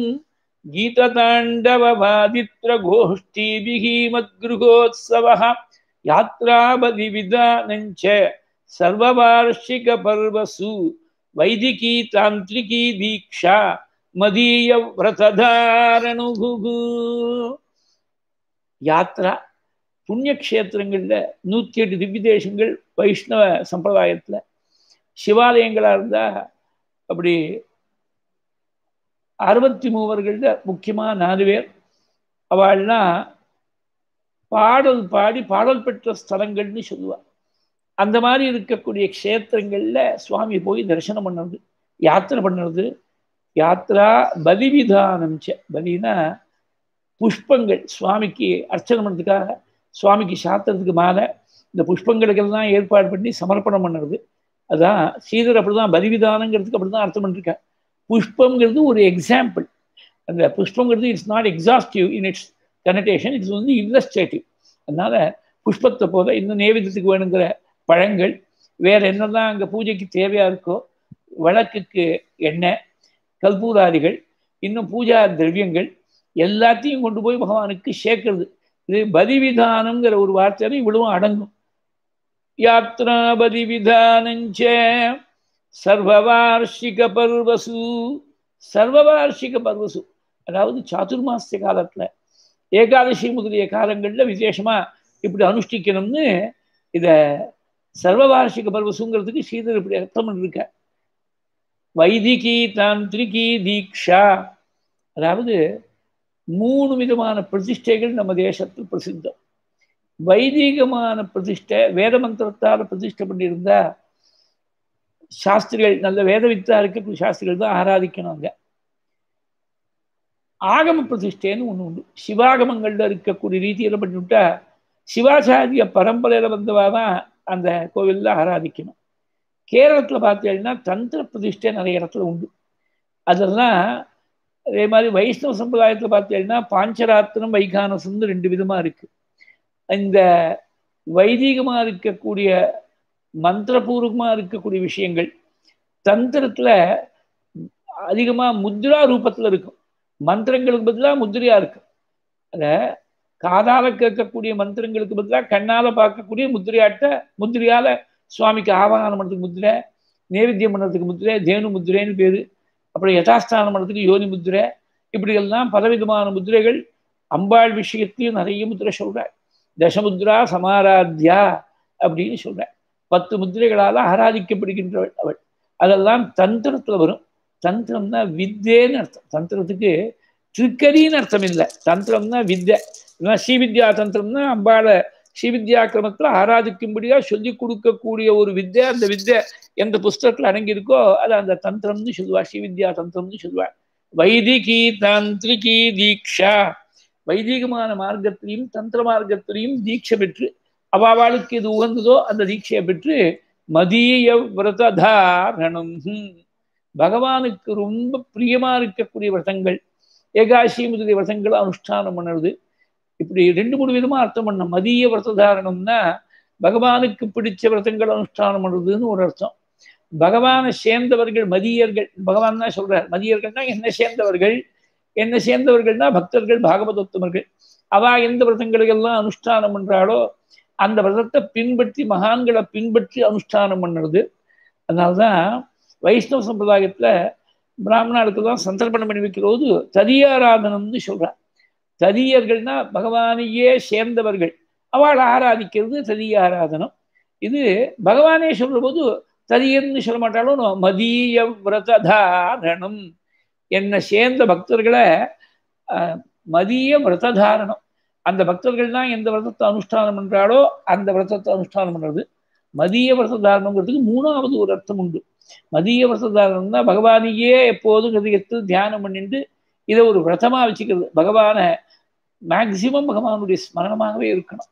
அதுக்கு பிரயத்னம் பண்ணி விரதமாக வச்சுக்கிறது. அது மாத்திரம் இல்லை. மதக்ஷாஸ்தாபனே ஸ்ரத்தா ஸ்வதசங்கத்யோத்யமः உத்யானோபவனாராம புரமந்திர கர்மணீஹி சக்தி இருந்தா பகவானுக்கு கோவில் தானே சுயமா அமைக்கிறது. சக்தி இல்லைன்னா நாலு பேரோடு சேர்ந்து பரஸ்பர சகாயத்தால் பகவானுக்கு ஆலய நிர்மாணம் பண்ணுறது. அர்ச்சாவதார காலத்துல பகவான் சிலா ரூபத்தில் இருக்கார். அந்த பிரபுவை மந்திரத்தால் சைத்தன்யத்தை உள்ள ஏற்றி ஆராதனை பண்ணுறதுக்காக கோவிலில் போய் பிரதிஷ்டை பண்ணுறது. மருத்துவ சாஸ்திரிவாழ்னு ஒரு பெரிய மகான் இருந்தான் சுமார் நூறு வருஷம் முன்னாடி. அவ ராமாயணத்துக்குன்னு ஆவிர்வவிச்ச ஒரு பெரிய புண்ணிய புருஷாளவா அவளுக்கு கபால மோட்சம் இது மகாபிரிவா சொல்லிருக்கா அவள் கபால மோட்சங்கிறது ரெண்டு பேருக்கு நமக்கு தெரிஞ்சு சமீப காலத்தில் கபால மோட்சம் தியாகராஜ சுவாமிகள் ஒன்றும் மருத்துவ சாஸ்திரிவாள் ஒன்றும் அவருக்கு கடைசியில் சந்நியாசம் வாங்கிக்கணும்னு இருந்தது. குடும்பத்தில் இருக்கிறவாள்லாம் அது கொஞ்சம் அனுசரணையாக இல்லை. கிஷ்கிந்தா காண்டத்தில் ஒரு ஸ்லோகத்தை சொல்லிட்டு உட்கார்ந்தார். காமமேவம் விதோ லோகா காஹதேன வினியுஜ்யத்தே எனக்கு பிரம்மா தெரியாது விஷ்ணு தெரியாது மகேஸ்வரன் தெரியாது. என் குரு தான் எனக்கு தெரியும். வாளுக்கு முத்தண்ணாவாள் தான் குரு. முத்தண்ணாவாழ்கிட்ட படித்தவாழ்ல பைங்காநாடு கணபதி சாஸ்திரம் ஒன்றும் பரிச்சூர் சாஸ்திரம் ஒன்றும் நிறைய பெரிய வித்வான்கள் தான் இருந்திருக்கா. பரிச்சூர் சாஸ்திரவாள் தன் குருவாக இருக்கக்கூடிய முத்தண்ணாவாள் எங்கள் குரு சேங்காலுமரி பெரியவாளுக்கு மகா குருக்களாக இருக்கக்கூடிய முத்தண்ணாவாள் மேலே பண்ண ஸ்லோகம் தான் பக்தவாசல் ஜலதேகே பரமானந்த ரூபிணா அஸ்மதாச்சாரியராஜஸ்ய பிரபன்னோஸ்மி பதாம்புஜங்குகு இது பரிச்சூர் சாஸ்திரவாள் பண்ண ஸ்லோகம் இது. அவ என் குருதான் எனக்கு தெரியும் பிரம்மா விஷ்ணு மகேஸ்வரால் மும்மூர்த்திகள் தெரியாது. என் குருதான் தெரியும் எனக்கு. என் குருட்ட நான் வச்சிருக்கக்கூடிய பக்தி சத்தியமா இருந்தா என் குரு என்னைக்கு உத்தமகதி அடைஞ்சாரோ அன்னைக்கே எனக்கும் சரீரத்தை விட்டு உயிர் பிரிக்கணும்னு பிரார்த்திச்சிருந்தார் அதே மாதிரி தை மாசத்துல கிருஷ்ணபக்ஷ ஏகாதசி அங்க முத்தண்ணாவாள் என்னைக்கு சேர்த்து விட்டாரோ அதே தினத்துல இவருக்கும் தேகவியோகம் கபால மோட்சம் இது பெரியவா சொல்லிருக்கா. இந்த கபால மோட்சம் எப்படி தெரியும்னா சேர்த்து விட்டு உயிர் பிரிஞ்சு விட்டு கிட்டக்கு போய் குடும்பத்தில் இருக்கிறவாள்லாம் பார்த்தா தலையில உச்சந்தலையில ஒரு சின்னதாக ஒரு ஒரு கீரல் மாதிரி இருக்கு ரத்தம் லேசாக கசிகிறது அந்த உச்சந்தலையில் இருக்கக்கூடிய பிரம்மரந்திரம் வழியா உயிர் பிரிஞ்சிருக்கு. யாருக்கு கிடைக்கும் நினைச்சு பார்க்க முடியுமா? இப்படி சமீபத்தில் ரெண்டு பேருக்கு தான் கிடைச்சிருக்கு. அந்த மாதிரி அவளுக்கு ராமட்ட ரொம்ப அந்யாதிசமான பக்தி. அவளுக்கு சுயம்புவாக இருக்கக்கூடிய ராம விக்கிரம் ராமன் லக்ஷ்மணன் சீதை ஆஞ்சநேயர் விக்கிரங்கள் தான் கிடைச்சு. அது பூமியிலேருந்து கிடைச்சிது. அந்த விக்கிரகத்தை ஒரு பௌராணிகரா உபன்யாசகராக இருந்துட்டு வைதிகராக இருந்துட்டு ஒரு கோவில் கட்டி அந்த ராமரை பிரதிஷ்டை பண்ண சமீபத்தில் அந்த கோவிலுக்கு சில வருஷங்கள் முன்னாடி ஜீர்ணோத்தாரண கும்பாபிஷேகங்கள்லாம் பண்ணா பக்தர்கள் எல்லாரும் சேர்ந்து ஈடுபட்டு அதை அந்த ராமரை ஜென்மா முழுக்க ஆராதிச்சேன் இது மாதிரி உனக்கு முடிஞ்சா கோவில் நிர்மாணம் பண்ணது. இன்னைக்கு இருக்கக்கூடிய சந்தர்ப்பத்தில் என்ன சொல்ல வேண்டியிருக்குனாக்க கோவில் புதுசாக கட்டுறதை விட இருக்கிற கோவில் நல்லா சம்ரட்சணம் பண்ணும். அதான் சொல்ல வேண்டியிருக்கு. பெரியவாளும் அப்படிதான் சொல்லிட்டு இருக்கா. ஏன்னா புதுசாக கோவில் கட்டுறது விஷயம் இல்லை. ஏற்கனவே இருக்கக்கூடிய கோவில் பிராச்சீனமான கோவில் ஆயிரம் ரெண்டாயிரம் வருஷங்களா இருக்கக்கூடிய கோவில் பல கோவில்கள்ல சுவாமிக்கு வடக்கேற்றதுக்கு கூட எண்ணெய் இல்லை. ஒரு கோவிலில் போயிருக்கும்போது ரொம்ப நாள் முன்னாடி ஒரு அம்பாள் சந்நிதியில் ஒரு அர்ச்சகர் ரொம்ப வருத்தப்பட்டார். அம்பாள் சாத்தத்துக்கு புடவை கூட இல்லைன்னு வருத்தப்பட்டார். இப்படி பல கோவில்கள் இருக்கு. வஸ்திரம் இல்லை சுவாமிக்கு. நெய்யோ எண்ணெயோ இல்லை தீபம் ஏற்றுறதுக்கு நேவேத்தியத்துக்கு கூட வழி இல்லை. அந்த குருக்கள் என்ன பண்ணுறார் தானே தன் கிரகத்திலேருந்து ஏதோ கொஞ்சம் நேவேத்தியத்தை கொண்டு வந்து சுவாமி நைவேத்தியம் பண்ணி பிரசாதமாக திருப்பி எடுத்துகிட்டு போயிடுறார். இந்த மாதிரி இருக்குது அந்த மாதிரி கோவில்களை இன்னும் நன்னா புஷ்டியாக அந்த நன்னா பூஜையெல்லாம் ஒரு ஒரு காலம் கூட விட்டு போகாமல் நன்னா பண்ணுறதுக்கு ஏற்பாடு பண்ணும். புதுஷா கோவில் அப்புறம் கட்டிக்கலாம். முதல்ல இருக்கிற கோவிலை நன்னா சம்ரட்சணம் பண்ணும். பிரசித்தமாக இருக்கக்கூடிய கோவில்களில் எப்படியோ பணம் வந்துடுது நிறைய பக்தாலும் வந்துடுறா. இங்கே இப்போ திருப்பதி குருவாயூர் இதெல்லாம் கவலைப்பட வேண்டிய அவசியம் இல்லை. நிறைய வந்துட்டு இருக்கு. ஆனால் சின்ன சின்ன கோவில்கள் கிராமங்களில் எத்தனையோ பிராச்சீனமான கோவில்கள்லாம் இருக்குது இருக்கு. அந்த கிராமத்துக்கு போய் ஸ்தல புராணத்தை பார்த்தேன்னா அந்த கோவிலுக்கு ரொம்ப ஆன்டிகுட்டி ரொம்ப இருக்கிறதாக தெரியும். ஆனால் அங்கே யாரும் கவனிக்கிறதுக்கு ஆள் இல்லை. அங்கே ரெகுலராக பூஜை பண்ணுறதுக்கே ஆள் இல்லை. எனக்கு தெரிஞ்சு பல இடங்கள்ல ஒரு அஞ்சாறு கோவில் ஒரே குருக்கள் பார்க்க வேண்டியிருக்கு. அதனால பத்து நிமிஷம் இங்கே வந்து திறந்து ஒரு நைவேத்தியம் பண்ணி கல்பூரத்தை பண்ணிவிட்டு இன்னொரு கோவிலுக்கு போவார் அவர் பாவம் ஒரு சைக்கிளை வச்சுட்டு அவர் மாட்டில் சுற்றிட்டு இருக்காரு தனம். அவருக்கு ஏதோ ஒரு பிட்டன்ஸ் ஏதாவது கொடுப்பாளாக இருக்கும் ஹெச்ஆர்சியில் தெரியாது. ஆனால் ஏதோ விடாமல் செய்யணும் பரம்பரையாக வந்திருக்கக்கூடிய இந்த தர்மத்தை விடாமல் ரட்சிக்கணும்னு அவள் தான் பண்ணிட்டு இருக்காளே. அந்த மாதிரி கோவிலில் பூஜை பண்ணுறவாளுக்கு ஏதாவது ஒரு தொகை as a mark of financial support more than financial support as a mark of recognition by society of their unsparing endeavours இதுக்கு ஒரு வழி பண்ணுங்கிறதுக்காக தான் கச்சிமூதூர் ட்ரஸ்ட்னு ஒன்று பெரியவா அமைச்சு அதில் அந்த காலத்தில் பெரியவா நான் சொல்ல சுமார் நாற்பது வருஷம் முன்னாடி நாலாயிரம் ரூபாய்க்கு மேலே யார் சம்பளம் வாங்குறாளோ ஒரு மாத சம்பளத்தை ஒன்ஸ் இன் லைஃப் டைம் கான்ட்ரிபியூஷனாக கொடுங்கன்னு பெரியவா அப்பீல் பண்ணி ரொம்ப பேர் கொடுத்தா.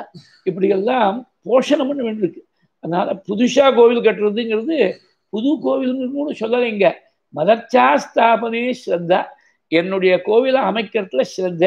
புது கோவில் தான் இங்கே அவ்வியஸ் மீனிங்காக இருக்குது ஆனால் இன்னைக்கு காலத்தை உத்தேசம் பண்ணி பிராச்சீனமான கோவிலை ரட்சிக்கிறதுக்கும் இதே வாக்கியத்தை நாம் எடுத்துக்க வேண்டியிருக்கு. இதெல்லாம் பக்திக்கு லட்சணம். மதர்ச்சாஸ்தாபனே ஸ்ரத்தா ஸ்வத சங்கத்யோத்யமஹா உத்தியானோபவனாராம புறமந்திர கர்மணி உத்தியானம்னு சொன்னா இதெல்லாம் ஸ்ரீதரிகத்தை பார்த்தாதான் தெரியும். உத்தியானம் புஷ்ப பிரதானம் உபவனம் பலப்பிரதானம் ஆராமம் கிரீடாஸ்தானம் இப்படி எல்லாம் அர்த்தம் பண்ணிருக்கா ஸ்ரீதரர் அதாவது உத்தியானம்ங்கிறது நந்தனவனம் மாதிரி. ஒரு காலத்துல பிராச்சீன காலத்துல இது ஒரு பெரிய தர்மமா முப்பத்தி ரெண்டு விதமான தர்மங்கள் சொன்னால் அதுல இந்த தர்மத்தை ஒரு பெரிய தர்மமா சொல்லிருக்க.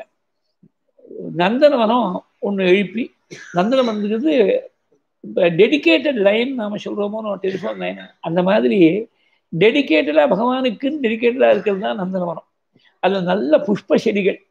பகவானுக்கு அர்ச்சனை பண்ணுறதுக்கு உபயோகமாக இருக்கக்கூடிய வாசனை செடிகள் வாசன புஷ்பங்கள் அந்த செடிகள் தான் வளர்க்கிறது. அந்த புஷ்பத்தை மனுஷா யூஸுக்கு இருக்கிறது இல்லை. அதை நல்லா மடியாக இருந்து சுத்தமாக பழித்து பகவானுக்கு அர்ச்சனை பண்ணுறதுக்கு தொடுத்து மாலையாக பகவானுக்கு சாத்துறதுக்கு அதுக்கு தான் யூஸ் பண்ணுவாள் அதான் நந்தனவனம்னு பேர். அந்த மாதிரி இருக்கிறது தான் உத்தியானம்னு மகான் சிவன் சார் தன் புஸ்தகத்தில் எழுதியிருக்க இந்த காலத்தில் இந்த மாதிரி மனுஷா இருக்கிறதுக்கே பூமி கிடைக்கிறது கஷ்டமா இருக்கு. தனி வீடு பார்க்கறதே ரொம்ப அபூர்வமா இருக்கு. நந்தனவனம் இன்னைக்கு ரியல் எஸ்டேட்ல இருக்கக்கூடிய வேல்யூஸை பார்க்குற போது பகவானுக்கு புஷ்பகேங்கிற பண்ணுறதுக்குன்னு ஒரு பூமியை தனியாக ஒதுக்கி வைக்கிறதுக்கு தோணுமா? மனசில் தோணுமா? நீ தனியாக வீட்டில் இருந்தாலும் சரி ஃப்ளாட்டில் இருந்தாலும் ஏதோ ஒரு பால்கனியில் ஒரு ரெண்டு செடியை வச்சுருக்கேன் ஒரு பாட்டட் பிளான்ட் வச்சுருக்கேன் அங்கே காத்தால ஸ்நானம் பண்ணி மடியாக இருந்து அந்த புஷ்பத்தை நாமே நம்ம கைப்பட நந்தனவனத்திலேருந்து பறிக்கிறோங்கிற எண்ணத்தோட பறித்து பகவானுக்கு அர்ச்சனை பண்ணால் கடுமையான வியாதிகள்லாம் நிவர்த்தி ஆகும்னு மகான் சிவன் சார் தன் புஸ்தகத்தில் எழுதியிருக்கார். உத்தியானோபவனாராம புறமந்திர கர்மணி. அப்புறம் உபவனம்ங்கிறது பழங்கள். இதே மாதிரி பகவானுக்கு நைவேத்தியம் பண்ணுறதுக்காக உகந்த பழங்கள். இந்த நந்தனவனத்தில் குரோட்டன்ஸ் எல்லாம் போட மாட்டா. சுவாமிக்கு எது அர்ச்சனத்துக்கு உகந்ததோ அந்த புஷ்பங்கள் மாத்திரம்தான். அது மாதிரி பகவானுக்கு நைவேத்தியம் பண்ணக்கூடிய பழங்களா அது அந்த பழங்கள் நல்லா வளர்றதுக்காக அதுக்கு வேணுங்கிற மரங்கள் செடிகள் அதெல்லாம் இருக்கக்கூடிய இடம் தான் உபவனம்னு பேர். உத்தியானோபவனாராம ஆராமங்கிறது கிரீடாஸ்தானம். அப்படி சுவாமி ஒரு உற்சவ காலத்தில் கொஞ்சம் விஸ்ராந்தி பண்ணிக்கிறதுக்கோ இல்லை பகவானை நினைச்சுண்டு பக்தர்கள்லாம் சேர்ந்து பக்தி மார்க்கத்தில் பஜன சம்பிரதாயத்தில் கிரீட பண்ணுறதுக்கோ இதுக்கெல்லாம் இருக்கக்கூடிய இடம் உத்தியோ உத்தியானோபவனாராம புறமந்திர கர்மணி.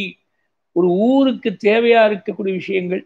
கோவில் இதையெல்லாம் நிர்மாணம் பண்ணுறதுக்கு போய் ஈடுபடுறது எல்லாம் பக்திக்கு லட்சணம்ட்டார் அது மாத்திரம் இல்ல உத்தியானோபவனாராம புரமந்திர கர்மணிகி. சம்மார்ஜனோபலேபாபியாம் சேகமண்டலவர்த்தனீகி.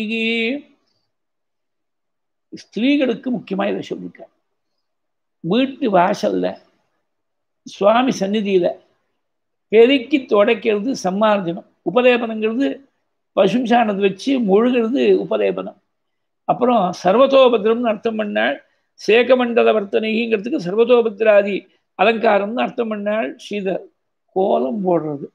இது ஒரு பெரிய பக்தியுடைய அம்சமா சொல்லிருக்கார் பகவான் வாக்கார சேகமண்டல வர்த்தனைகி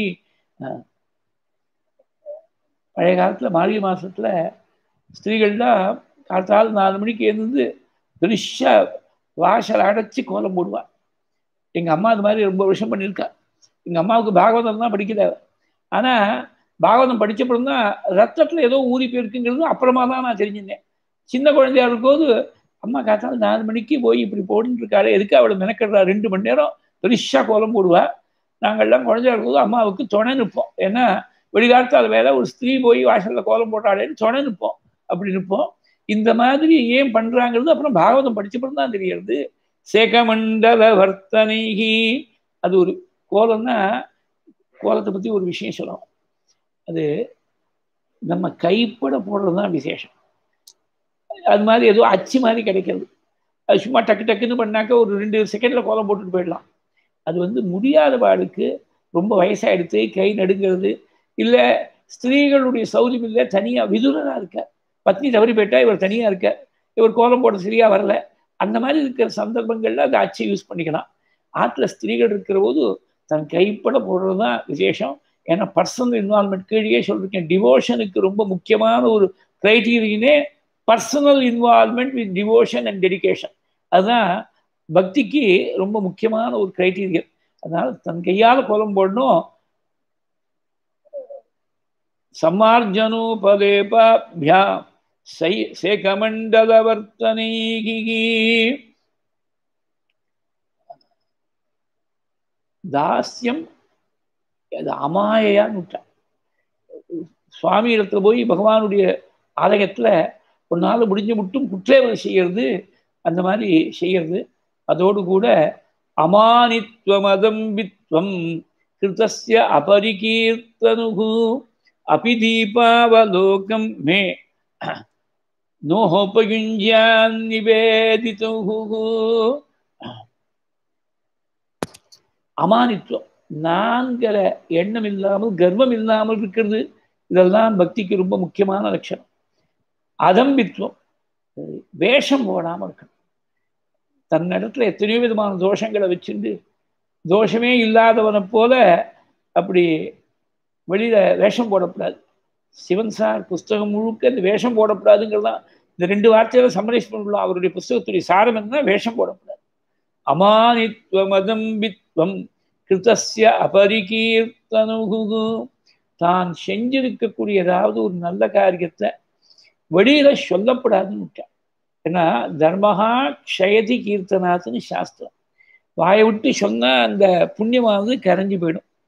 பாபமும் அப்படிதான். வாயை விட்டு சொன்னா பாபம் போயிடும். செஞ்ச பாபத்தை சொல்லி தீருன்னு சொல்லுவா. ஆனா பாபத்தை சொல்றதுக்கு மனசு வராது.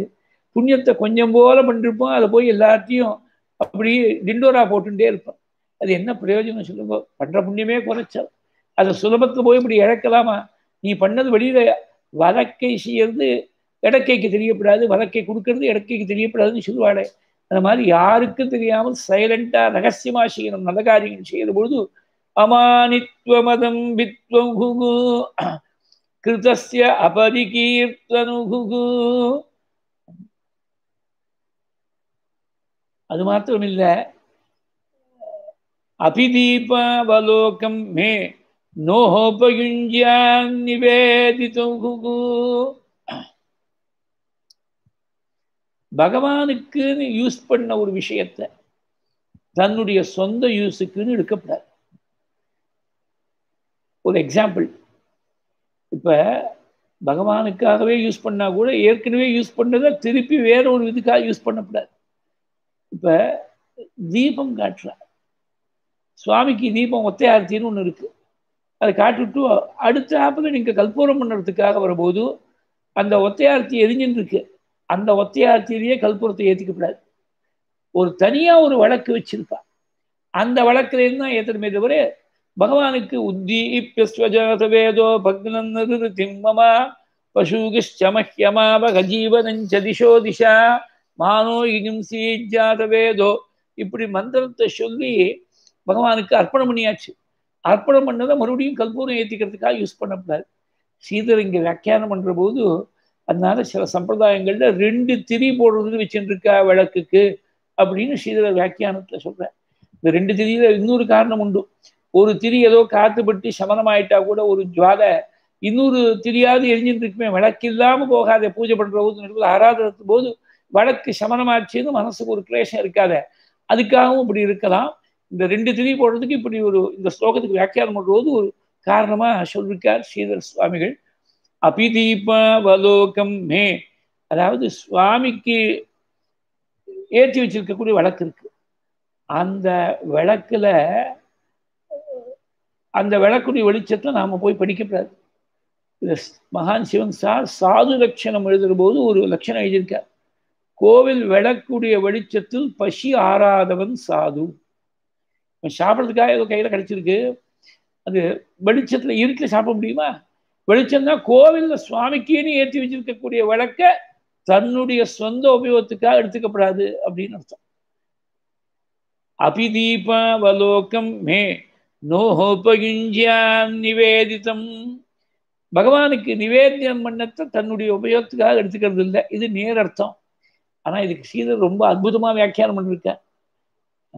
ஏதத் சாதாரணம் ஸ்தாவரபக்ஷம் ராகப்பிரயுக்த பட்சம் வா பக்தியாது கிராட்சியமேவா அப்படின்னு சீதர் வியாக்கியானம். சாதாரணமாக பகவானுக்கு நைவேத்தியம் பண்ணத்துல எடுத்துக்கப்படாதுன்னு சொல்றது சாதாரண ஜனங்கள் ஏதோ சொல்லிட்டு போகிற ஆனா பக்தியால் பார்க்குற போது ஏத்துக்க வேண்டியதுதான். பகவானுடைய நைவேத்தியத்தை ஸ்வீகரிக்க வேண்டியதுதான். அதுக்கு பிரமாண வாக்கியங்கள்லாம் கோட் கோட் பண்ணிருக்க. ஷஷ்டைகி மாசோபவாசைஸ்து.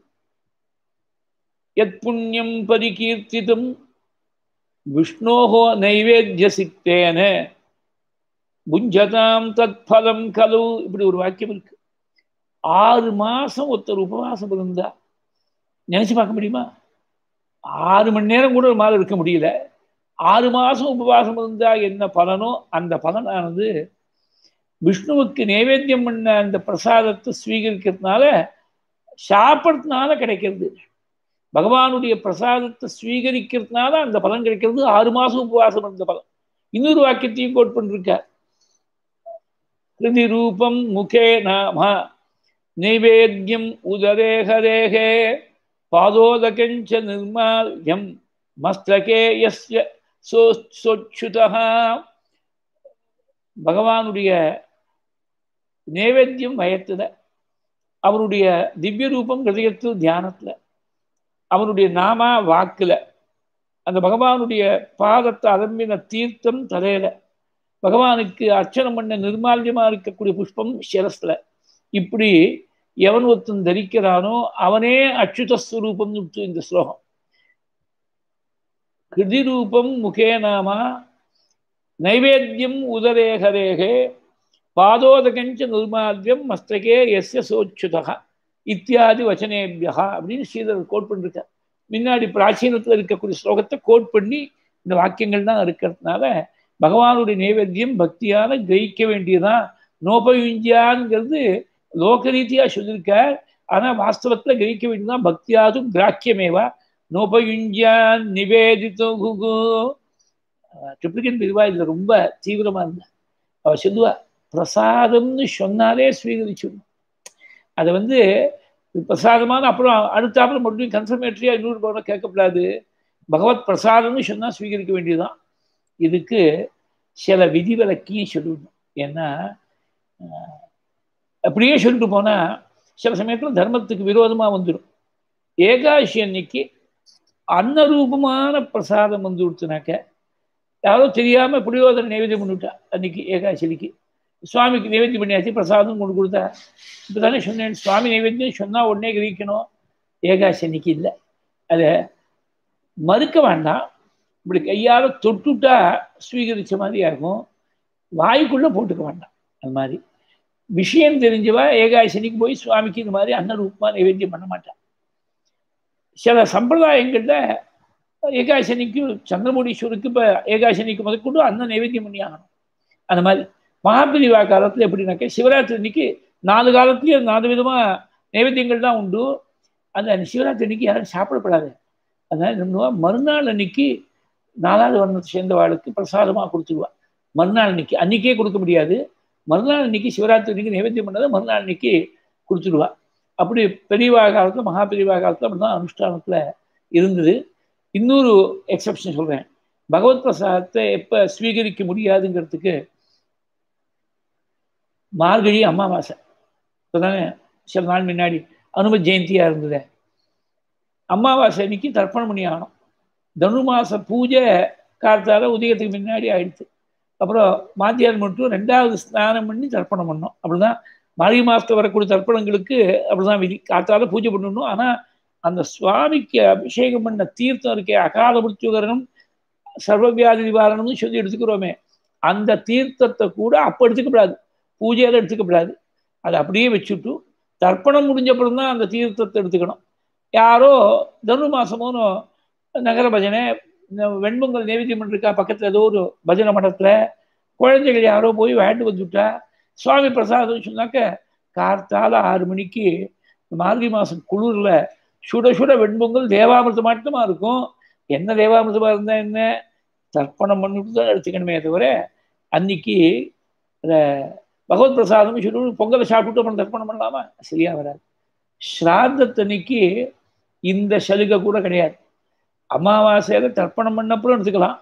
ஸ்ராத்தத்தன்னைக்கு அந்த பித்ருசேஷம் அந்த பித்ருஸ்வரூபமா வர்ணம் பண்ணி பிராமணாளுக்கு எதை என்ன பரமாறினாலோ அவள்னா சாப்பிட்டப்புறம் இவனுடைய அனுஷ்டானம் முடிஞ்சப்புறம் இந்த கர்த்தாவா இருக்கக்கூடியவன் அந்த பிரசாதத்தை தான் சாப்பிடலாம். வேற பகவத் பிரசாதமா இருந்தா கூட அன்னைக்கு கிரகிக்கப்படாது. அதனால்தான் ஸ்ராத்தத்தன்னைக்கு வெளியில் எங்கேயும் போகாதேன்னு ஒரு விதியை வச்சேன். கோவிலுக்கு போனால் என்ன ஆகும் ரெண்டு சிரமங்கள். கோவிலில் பிரசாதத்தை ஏதோ கொடுத்தார். அவருக்கு தெரியாது. இவர் சாதம் பண்ணிட்டு வந்திருக்காருன்னு தெரியாது. அந்த அர்ச்சகர் ஏதோ பிரசாதத்தை கொடுத்தாருன்னா இது ஸ்வீகரிக்கிறதா வேண்டாமான்னு தர்ம சங்கடம் வரும். ஸ்வீகரிச்சா சாப்பிட்டுட்டா ஸ்ராத்த தர்மத்துக்கு விரோதம். ஸ்வீகரிக்கிறேன்னா பகவானுக்கு அபச்சாரமாக போயிடுமோன்னு கவலை. அதனால்தான் அன்னைக்கு கோவிலுக்கு வெளியில் போகிறதில்ல இன்னொரு காரணம் ஒன்று உண்டு. மறு மறுநாள் அன்னைக்கு பரையகடி தர்ப்பணம் முடிகிற மட்டும் வேற இதர ஆள்கிட்ட பேசக்கூடாது. கோவிலில் போனால் யார்த்தையாவது பேச முடியாது வந்துடுமே.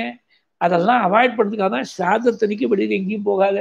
ஞாத்தோடு இரு. பேசாமல் சாயங்காலம் சந்தியானம் பண்ணிட்டு ஏதாவது பகவான் நாம சொல்லிட்டு அப்படியே சீக்கிரமாக படுத்துட்டு காத்தால நாலு மணிக்கு எழுந்து பரேகடி தர்ப்பணம் பண்ணி அப்புறம் மறுபடியும் பத தேய்ச்சி புனஸ்ட ஸ்நானம் பண்ணி மடி வஸ்திரத்தை உடுத்திட்டு சந்தியாவனம் பண்ணி அப்படி மேற்கொண்டு அனுஷ்டானத்தை பண்ணணும். அதனால இந்த மாதிரி சில விதி விலக்குகள் உண்டு. இங்க ஏகாசனிக்கு அன்னரூபமாக வரக்கூடிய பிரசாதமாக இருந்தாலும் சில பேர் ஏகாசனிக்கு நிர்ஜலமாக சுத்தமாக உபாசனம் இருக்கா? சுத்தமாக உபாசம் இருக்கிறவாளுக்கு எதுவாக இருந்தாலும் ஏகாசனிக்கு ஸ்வீகரிக்கிறதுக்கு இல்லை. பிரசாதத்தை பகவானுக்கு கொடுக்குற தீர்த்தம் வேணால் ஸ்வீகரிக்கலாம். ஆனால் அது கூட தர்மசாஸ்திர பிரகாரம் பார்த்தா அன்னைக்கு ஒரே ஒரு முறை தான் நம்ம பூஜையில் இருக்கக்கூடிய தீர்த்தமே மூணு முறை எடுத்துக்கிறது ஒரு சம்பிரதாயம் இருக்கு. ஏகாசனிக்கு ஒரு முறை தான் எடுத்துக்கணும். அதுக்கு அந்த ரெண்டாவது முதல் முறை பிரசாதங்கிறதுனால ரெண்டாவது முறையாக போனால் இவன் தாகசாந்திக்காக எடுத்துக்கிற மாதிரி ஆயிடும். அதனால தான் ஒரே ஒரு உதிரணி ஒரே ஒரு முறை தான் சொல்லியிருக்கா ஏகாசனிக்கு மாத்திரம் அப்படி சொல்லியிருக்கா. ஏகாசனிக்கு இவன் அனுஷ்டானம் பண்ணக்கூடிய நியமத்தை பொறுத்து இருக்கு. சில பேர் சுத்தோபாசம்னா ஒன்றும் எடுத்துக்க முடியாது. சில பேர் அவ உப்பு இல்லாமல் இருக்கணும்னு நினைப்பா. உப்பு போட்ட ஒரு பிரசாதம். ஆஞ்சநேயர் வடை எதுவும் வந்தது. அதை ஆஞ்சநேயர் வடைனா சாதாரணமாக ஒரு எட்டு நாளைக்கு வச்சுக்கலாம். அது மறுநாள் ஸ்வீகரிக்கலாமே. அதனால் சில பேர் கேட்பா ராமநவமி அன்னைக்கு உபாசம் இருபத்தி நாலு ஏகாட்சிக்கு துல்லியமாக சொல்லிருக்கா ராமநவமியை. ராமநவமி அன்னைக்கு சுவாமிக்கு பானகம் நீர்மோர் நிவேத்தியம் பண்ணுறது பல குடும்பங்களில் வழக்கமாக வச்சுருக்கா மோர் உபவாசத்தன்னைக்கு மோர் சாப்பிடக்கூடாது. மோர் சாப்பிட்டா உபவாச பங்கமாக கணக்கில் சேர்ந்துடும் அது. அப்போ என்ன பண்ணுறது? ரொம்ப சிம்பிள். சுவாமிக்கு நைவேத்தியம் பண்ணுறது தோஷமே கிடையாது. பகவானுக்கு ஏகாசனிக்கு கூட அன்னத்தை நிவேதனம் பண்ணலாம். ஆனால் நைவேத்தியம் பண்ணால் எண்பது வயசுக்கு மேற்பட்டவாளா எட்டு வயசுக்கு கீழே இருக்கிறவாளுக்கு இந்த ஏகாசியை கம்பல்சரியாக சொல்ல சாஸ்திரம். அந்த மாதிரி யாராவது இருந்தால் சாப்பிட்றதுக்கு கொடுக்கலாம். இல்லைன்னா கோமாதை அதுக்கு கொடுக்கும்படியாக இருக்கும். இந்த ராமநவமி அன்னைக்கு நீர்மோர் பாருங்க சுவாமிக்கு பேஷா நைவேத்தியம் பண்ணலாம். நான் ரொம்ப சுலபமாக சொல்கிறது அது மாதிரி கேட்டுன்னு வருவேன் நீங்கள் பானகத்தை வேணால் அன்றைக்கி ஸ்வீகரிச்சுங்கோ. ஆனால் நீர்மோர் எடுத்து உள்ள ஃப்ரிட்ஜில் வச்சுட்டேன்னா மறுநாள் அன்னைக்கு தாராளமாக அந்த தசமி அன்னைக்கு ஸ்வீகரிச்சுக்கலாம் அதை. ராம நவமி அன்னைக்கு உபவாசமாக இருக்கிற அன்னைக்கு மோர் ஸ்வீகரிக்கப்படாது. இப்படியெல்லாம் இருக்குது அந்தந்த சந்தர்ப்பங்களில் எந்தெந்த தர்மத்தை எப்படி அனுஷ்டிக்கணும்னு பெரியவாழ்கிட்டேருந்து கேட்டு தெரிஞ்சுன்னு அனுஷ்டிக்கணும். அப்போ தான் சரியாக வரும். அதனால் பகவானுடைய பிரசாதம்னு சொன்னால் இந்த மூணு நாலு விதிவிலக்கை தவிர பகவானுடைய பிரசாதம் சொன்னால் உடனே ஸ்வீகரிக்க வேண்டியதான் அபிதீப வலோகம் மே நோபகிஞ்ச நிவேதிதோ எத்யதிஷ்டதமம் லோகே எச்சாதி பிரியமாத்மனஹ தத்தன்னிவேதயேன் மஹ்யம் ததானந்தியாய கல்பத்தேகே எது உனக்கு ரொம்ப இஷ்டமோ? எது ரொம்ப பிரியமோ? அது பகவானுக்கு நிவேதனம் பண்ணோம். அப்போதான் அனந்தமான பலம் விட்டான் அதாவது ரொம்ப வசத்தியான வஸ்துவாக பகவானுக்கு நிவேதனம் பண்ணோம். பகவானுக்கும் சரி பிதர்களுக்கும் சரி வசத்தியாக தான் இருக்கணும். ரொம்ப நாள் முன்னாடி ஏதோ தெருவில் போயிருந்தேன் ஒரு காரியமா. எதிர்த்தாப்புல ஏதோ ஒரு ஜவுளி கடை. ஓடி வந்தான் என்னை பார்த்த உடனே மாமா நான் உங்களை பார்க்கணும்னு நினச்சிருந்தேன் நீங்கள் இங்கேயே வந்துட்டேன். நான் ஊருக்கு போயிட்டு இருக்கேன் இன்னைக்கு ராத்திரி. குலதெய்வம் அம்பாளுக்கு சாத்திரத்துக்காக ஒரு புடவை வாங்கியிருக்கேன். உங்கள்கிட்ட காட்டணும்னு வந்தேன் அப்படின்னு. சின்னாளம்பட்டில் வாங்கியிருக்கேன்னு சொன்னான். நான் ஒன்றும் சொல்ல வாங்கிவிட்டான். பில்லு போட்டு வாங்கியாச்சு. இனிமே போய் நான் புத்தி பேதம்னு ஜனகேது. ஒரு காரியத்தை பண்ணப்புறம் அவனை போய் கன்ஃபியூஸ் பண்ணக்கூடாது நான் புத்தி பேதம் ஜனகேது. பகவான் கீதையில சொல்ற வாக்கு சின்னாளம்பட்டு இருக்கிறதுலையே சீப்பஸ்ட் இந்த காலத்துல யாருமே சின்னாளம்பட்டுலாம் கட்டிக்கிறதா தெரியல. அம்பாளுக்கு மாத்திரம் அதை கட்டலாமா? ஒசக்தியான புடவையான இருக்கிறது பெஸ்ட் குவாலிட்டியான வாங்கி கொடுக்கணும் அம்பாளுக்கு. அதே பித்திருக்கர்மாவளியும் அப்படிதான். சுவாமிக்கு வேஷ்டி சாத்தினாலும் ஒசந்த வேஷ்டியாக சாத்தணும். பிதர்களுக்கு வாங்கி கொடுக்குறதும் நல்ல வேஷ்டியாக வாங்கி கொடுக்கணும். சுமங்கலி பிரார்த்தனைக்கு வாங்கக்கூடிய புடவையும் நல்ல புடவையாக வாங்கணும். ஏன்னா பிதிர்பூதியாக இருக்கக்கூடிய தாயார் சுமங்கலியாக பேருக்கா அவள் திருப்திக்காக செய்கிறோம் இந்த சுமங்கலி பிரார்த்தனையை. இது ஒன்பது லட்சம் புடவை தானே யாரும் ஜாஸ்தி யூஸ் பண்ணலையே. இருக்கிறதுல ரொம்ப திராவியாக வாங்கிவிடலான்னு நினைக்கக்கூடாது. நல்லதாகவே வாங்கி கொடுக்கணும் நல்லதாக இதில் போய் பணம் காசு கணக்கு பார்க்கக்கூடாது. பிதிர்கர்மாவிலையும் பகவதாராதனத்திலையும் போய் கணக்கு பாட்டு பார்க்கலாமோ? இது வந்து இன்வெஸ்ட்மெண்ட் இல்லை ரிட்டர்ன் ஆன் இன்வெஸ்ட்மெண்ட் பார்க்கறதுக்கு. இது வந்து தர்ம காரியம். அதனால வசத்தியான வஸ்துக்கள் தான் வாங்கி கொடுக்கணும். சாதத்துக்கு வேஷ்டி வேணும்னு கேட்கக்கூடாது. ஜவுளி கடையில் போனால் தனியாக ஒரு செக்ஷன் வச்சுருக்கோம். அங்கே போய் அந்த வேஷ்டியை ஒரு முறை நினைக்கிறதுக்குள்ளேயே கிழக்கேந்து ஒரு ஒரு தறி கிழியும் மேற்கேந்து ஒன்று தெரியும். அது சரியாக வராது. அதனால இங்காவது மாப்பிளைக்கு வேஷ்டி வேணும்னு கேட்டால் நல்ல வேஷ்டியாக எடுத்து கொடுப்பான். நல்ல வேஷ்டியா. எங்கள் அப்பாவே ரொம்ப திராபியான வேஷ்டி தான் கட்டியிருந்தார் அவர் ஆயுஷ்காலத்தில் அவருக்கு ஏதோ வசதி இல்லை திராபியான கட்டியிருந்தார் நீ இப்போ நல்லா சம்பாதிக்கிறிய. நல்ல வேஷ்டியாக ஒசத்திய நீ எப்படி உடிச்சிக்கணும்னு ஆசைப்படுவியோ. சரி உனக்கு ரொம்ப தரித்திரமான புத்தி இருக்கு ரொம்ப சுமாரான வேஷ்டி கட்டினா போதும் நீ நினைச்சா கூட சாதத்தில் இருக்கக்கூடிய வேஷ்டிகள் நல்ல வேஷ்டியாக தான் எடுத்து கொடுக்கணும். அது மாதிரி பித்திருக்கள் மாதிரியும் சரி தேவ காரியத்திலையும் சரி எது ரொம்ப இஷ்டமோ அது பகவானுக்கு அர்ப்பணம் பண்ணும் அப்போதான் அனந்தமான பலன் அப்படின்னு சொல்லிவிட்டேன். இன்னொரு திருஷ்டாந்தம் சொன்னேன் இது பல குடும்பங்களில் நடக்கக்கூடியது. நல்லெண்ணெயை ஒரு ஸ்டீல் சம்புடத்தில் ஏதோ ஒரு ஜாரில் போட்டு வச்சிருக்கா. அது ராத்திரி படுத்துக்கிறதுக்கு பின்னாடி ஏதோ எண்ணெய் எடுத்திருக்கா. அதை தூக்க கலக்கம் நாழியை எடுத்து படுத்துக்கணுங்கிற அவசரம். அந்த சம்பளத்துடைய மூடிய மூடாமல் மறந்து போய் இல்லை டைட்டாக மூடாமல் லூஸாக கொஞ்சம் அறகுறையாக மூடி ஏதோ படிச்சுட்டு விட்டா. மறுநாள் காலத்தால் ஏந்து வந்து பார்த்தா அதில் ரெண்டு கருப்பு விழுந்திருக்கு அந்த எண்ணெய் என்ன பண்ண முடியும்? சாப்பிட்றதுக்கு இருக்க முடியாது? வேறு யூஸுக்கு எடுத்துக்க முடியாது. பரவாயில்லை. சுவாமி வழக்கிலையாவது விட்டுட்டுவான் இந்த எண்ணெயை அப்படின்னு சொல்லுவாள் நாம் யூஸ் பண்ண முடியாத எண்ணெயை சுவாமி வழக்கில் விடலாமா? அது சரியா? அது பகவானை அவ்வளவு கீழ்த்தரமான ஒரு லெவலுக்கு குறைஞ்சி குறைச்சி கொண்டு வந்துட்டோமா? வேஸ்ட்டாக போனால் தூக்கி எறிய வேண்டியதுதான். என்னெல்லாமோ செலவழிக்கிறோம். இந்த ஒரு அரை லிட்டர் எண்ணெய் ஒரு லிட்டர் எண்ணெய் போனால் போட்டோம் இன்னொரு டைம் ஜாகிரதையாக இருக்கணும்னு ஒரு பாடம் வருமானம் ஏன்னா நம்ம கையிலேருந்து செலவாகிற போது அந்த பாடம் நமக்கு மனசில் நல்லா உரைக்குமோனும் மொத்தத்தில் நன்னா மூடி வைக்கணும் கரும்பு கரும்பு விடாமல் பார்த்துக்கணும் டைட்டாக மூடி இப்போ அதுக்கு நிறைய சாதனங்கள்லாம் வந்துவிட்டேன் ரொம்ப ஏர்டைட் கண்டெய்னர்ஸ் எல்லாம் நிறைய வந்துடுத்து. மொத்தத்தில் எது ரொம்ப ஒசந்ததோ உனக்கு எது ரொம்ப பிரியமோ அதான் பகவானுக்கு அர்ப்பணம் எத்யதிஷ்டதமம் லோகே எச்சாதி பிரியமாத்மனஹா தத்தன் நிவேதயேன் மஹ்யம் ததானந்தியாய கல்பத்தேகே.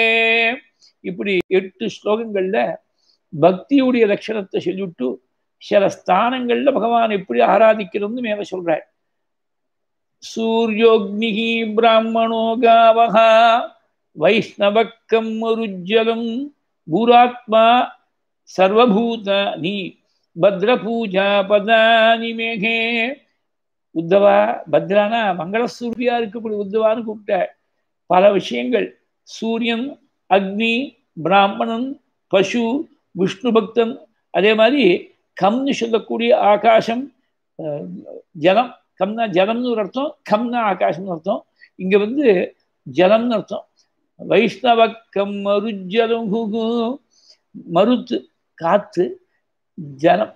கம்னா ஆகாசம்னு அர்த்தம் ஜலம் தனியாக சொல்லியிருக்காள் வைஷ்ணவக்கம் மருஜலம் பூராத்மா பூமாதேவி ஆத்மான்னு சொன்னால் சரீரம் சர்வ ஜீவராசிகள் இப்படி பதினோரு இடங்கள் சொன்னாள். அதில் சூரியா அக்னிகி பிராமணோ காவகா வைஷ்ணவக்கம் மருஜலம் பூராத்மா சர்வபூதானி பத்ரபூஜா பதானி மே யாரார்த்த எந்தெந்த ரூபத்தில் எப்படி ஆராதிக்கணும்னு சொல்ற சூரியேது வித்யா த்ரியா ஹவிஷாக்னு யஜேதமகாம் சூரியன்ட்ட காயத்ரி முதலிய மகாமந்திரங்களால சூரியனை ஆராதிக்கணும்.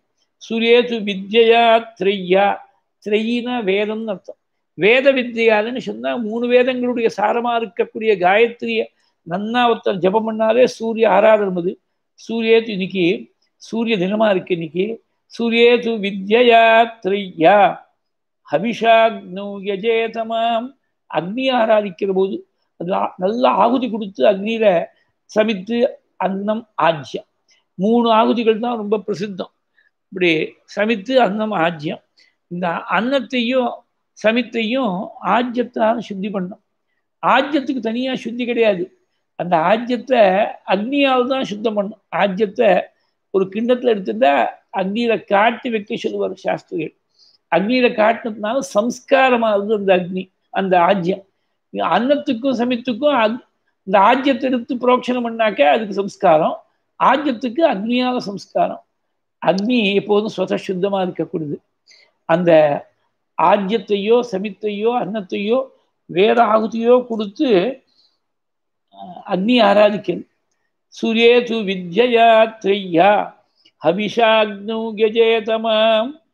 ஆதித்யேன து விப்ராக்ரே கோஹோஷ்வங்கயவசாதினகா ஒரு பிராமணோத்தமர் நம்ம மாத்துக்கு வந்துட்டார் வேத வித்து. தஞ்சாவூர் தாட்டதையா போட்டு வடபாயசத்தோட சாப்பாடு போட்டா அது பகவதாராதனம் யாரோ ஒரு பிராமணன் தான் சாப்பிட்றார். பிராமணோத்தமர்கள்ட்ட நல்ல போஜனம் பண்ணி வச்சு ஆதித்யத்தால பகவான் ஆராதிக்கணும். ஆதித்யேன து விப்ராக்தே கோஹோஷ்வங்கயவசாதினா பசுமாடு இடத்துல போய் பகவான் எப்படி ஆராதிக்கிறதுன்னா துவாதசி அன்னைக்கு கூட ரெண்டு கட்டு ஆத்திக்கீரை வாங்கி இது மாடு கொடுத்து விடுது. அது பகவத ஆராதனம். வைஷ்ணவே பந்து சத்கிருத்தியா விஷ்ணு பக்தர்கள் வரக்கூடிய சமயத்தில் சரதீபாவளிக்கு மாப்பிள்ளை வந்தா எப்படி உபச்சாரம் பண்ணுவாளோ அந்த மாதிரி உபச்சாரம் பண்ணும். அது பகவத ஆராதனை முட்டாள் வைஷ்ணவே பந்து சத்கிருத்தியா ரொம்ப வருஷம் முன்னாடி ஒரு கிரகத்துல பாக சப்தாக பூர்த்தி சுப்ளிகேட் பெரிவா பாராயணம் பண்ணிட்டு இருக்கா நான் பூர்த்தி கேட்கணும்னு போனேன். அங்கே நான் கொஞ்சம் லேட்டாக எடுத்து பாகவத் முடிஞ்சு பகவத்கீதை நடந்துருக்கு அப்புறம் சொன்னேன் இங்கேயே நீங்கள் சாப்பிட்டுட்டு போகணும்னு சொன்னார் என்ன. நான் பிரம்மியக்கு பிரச்சனை சொல்லியிருக்கல.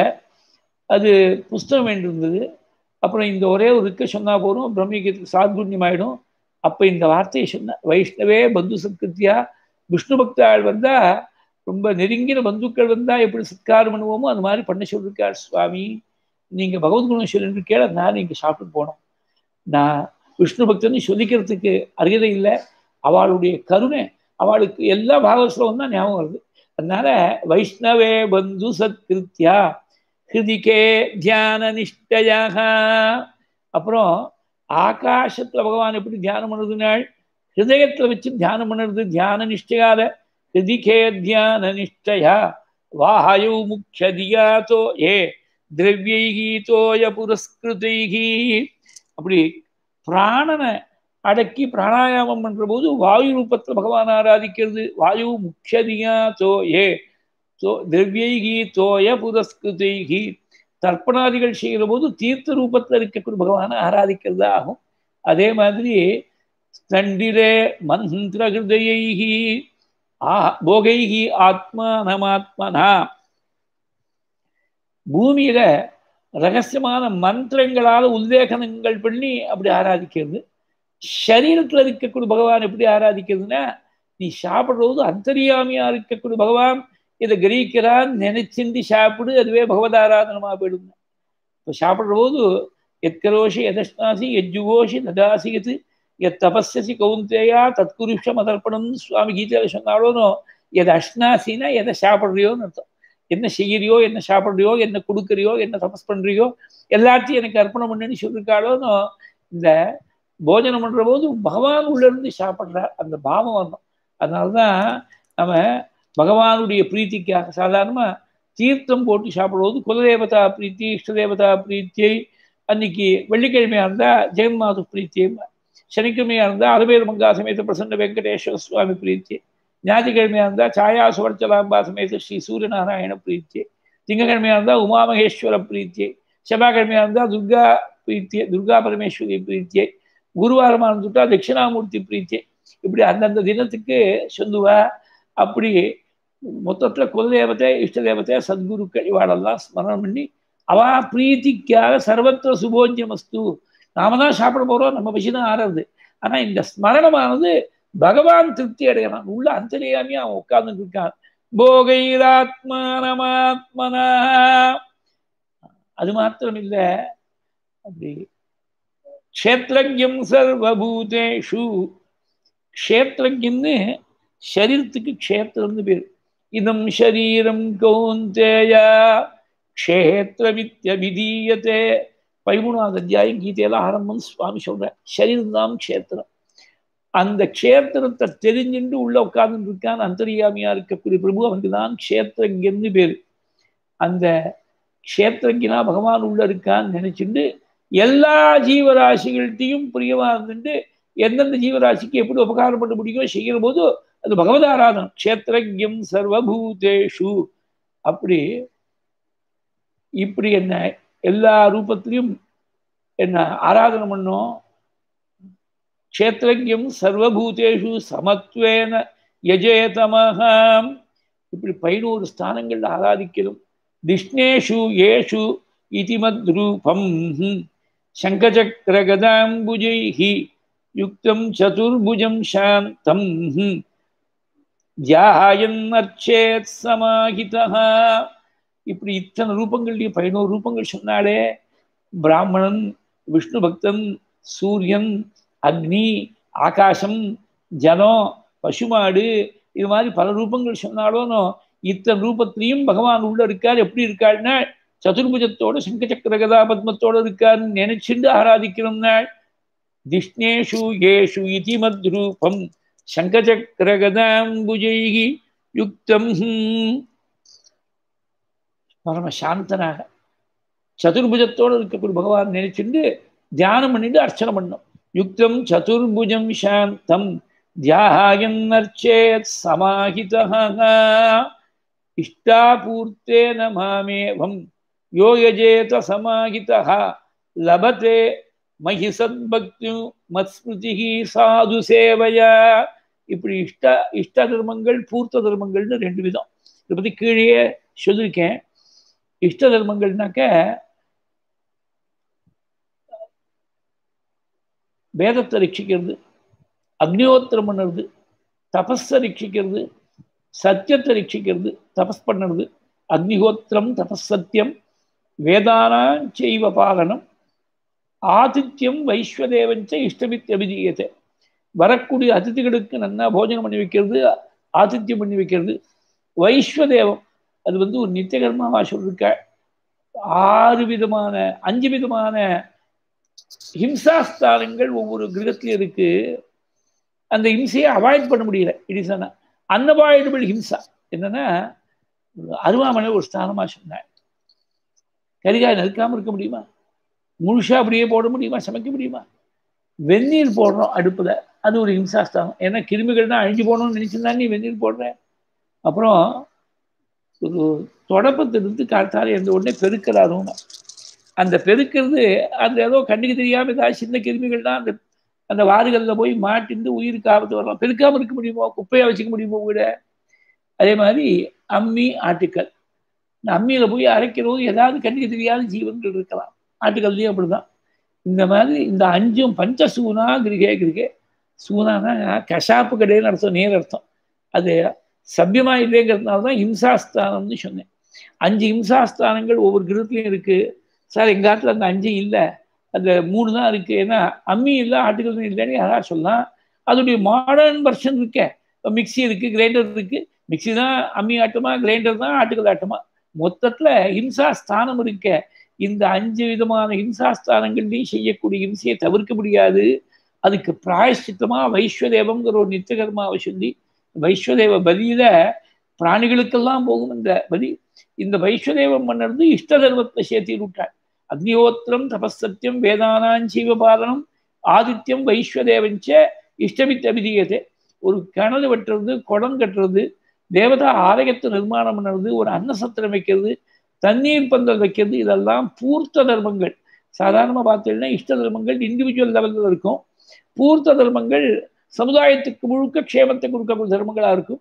வாபி கூப தடாகாதி தேவதாயதனானி ச. அன்னப்பிரதானமாராமஹா. பூர்த்தமித்யபிகீயத்தேகே இதெல்லாம் பூர்த்த தர்மங்கள்னு பேரு. இப்படி இஷ்ட தர்மங்கள் பூர்த்த தர்மங்களை பண்ணி எவன் ஒத்தன் ஒருமுகப்பட்ட மனசோட என்ன யார் ஆராதிக்கிறானோ சாதுக்களுக்கு சேவை பண்றானோ என்னுடைய ஸ்மரணமாகவே இருக்கானோ அவன் சீக்கிரமா என்கிட்ட பக்தி அடைகிறான்.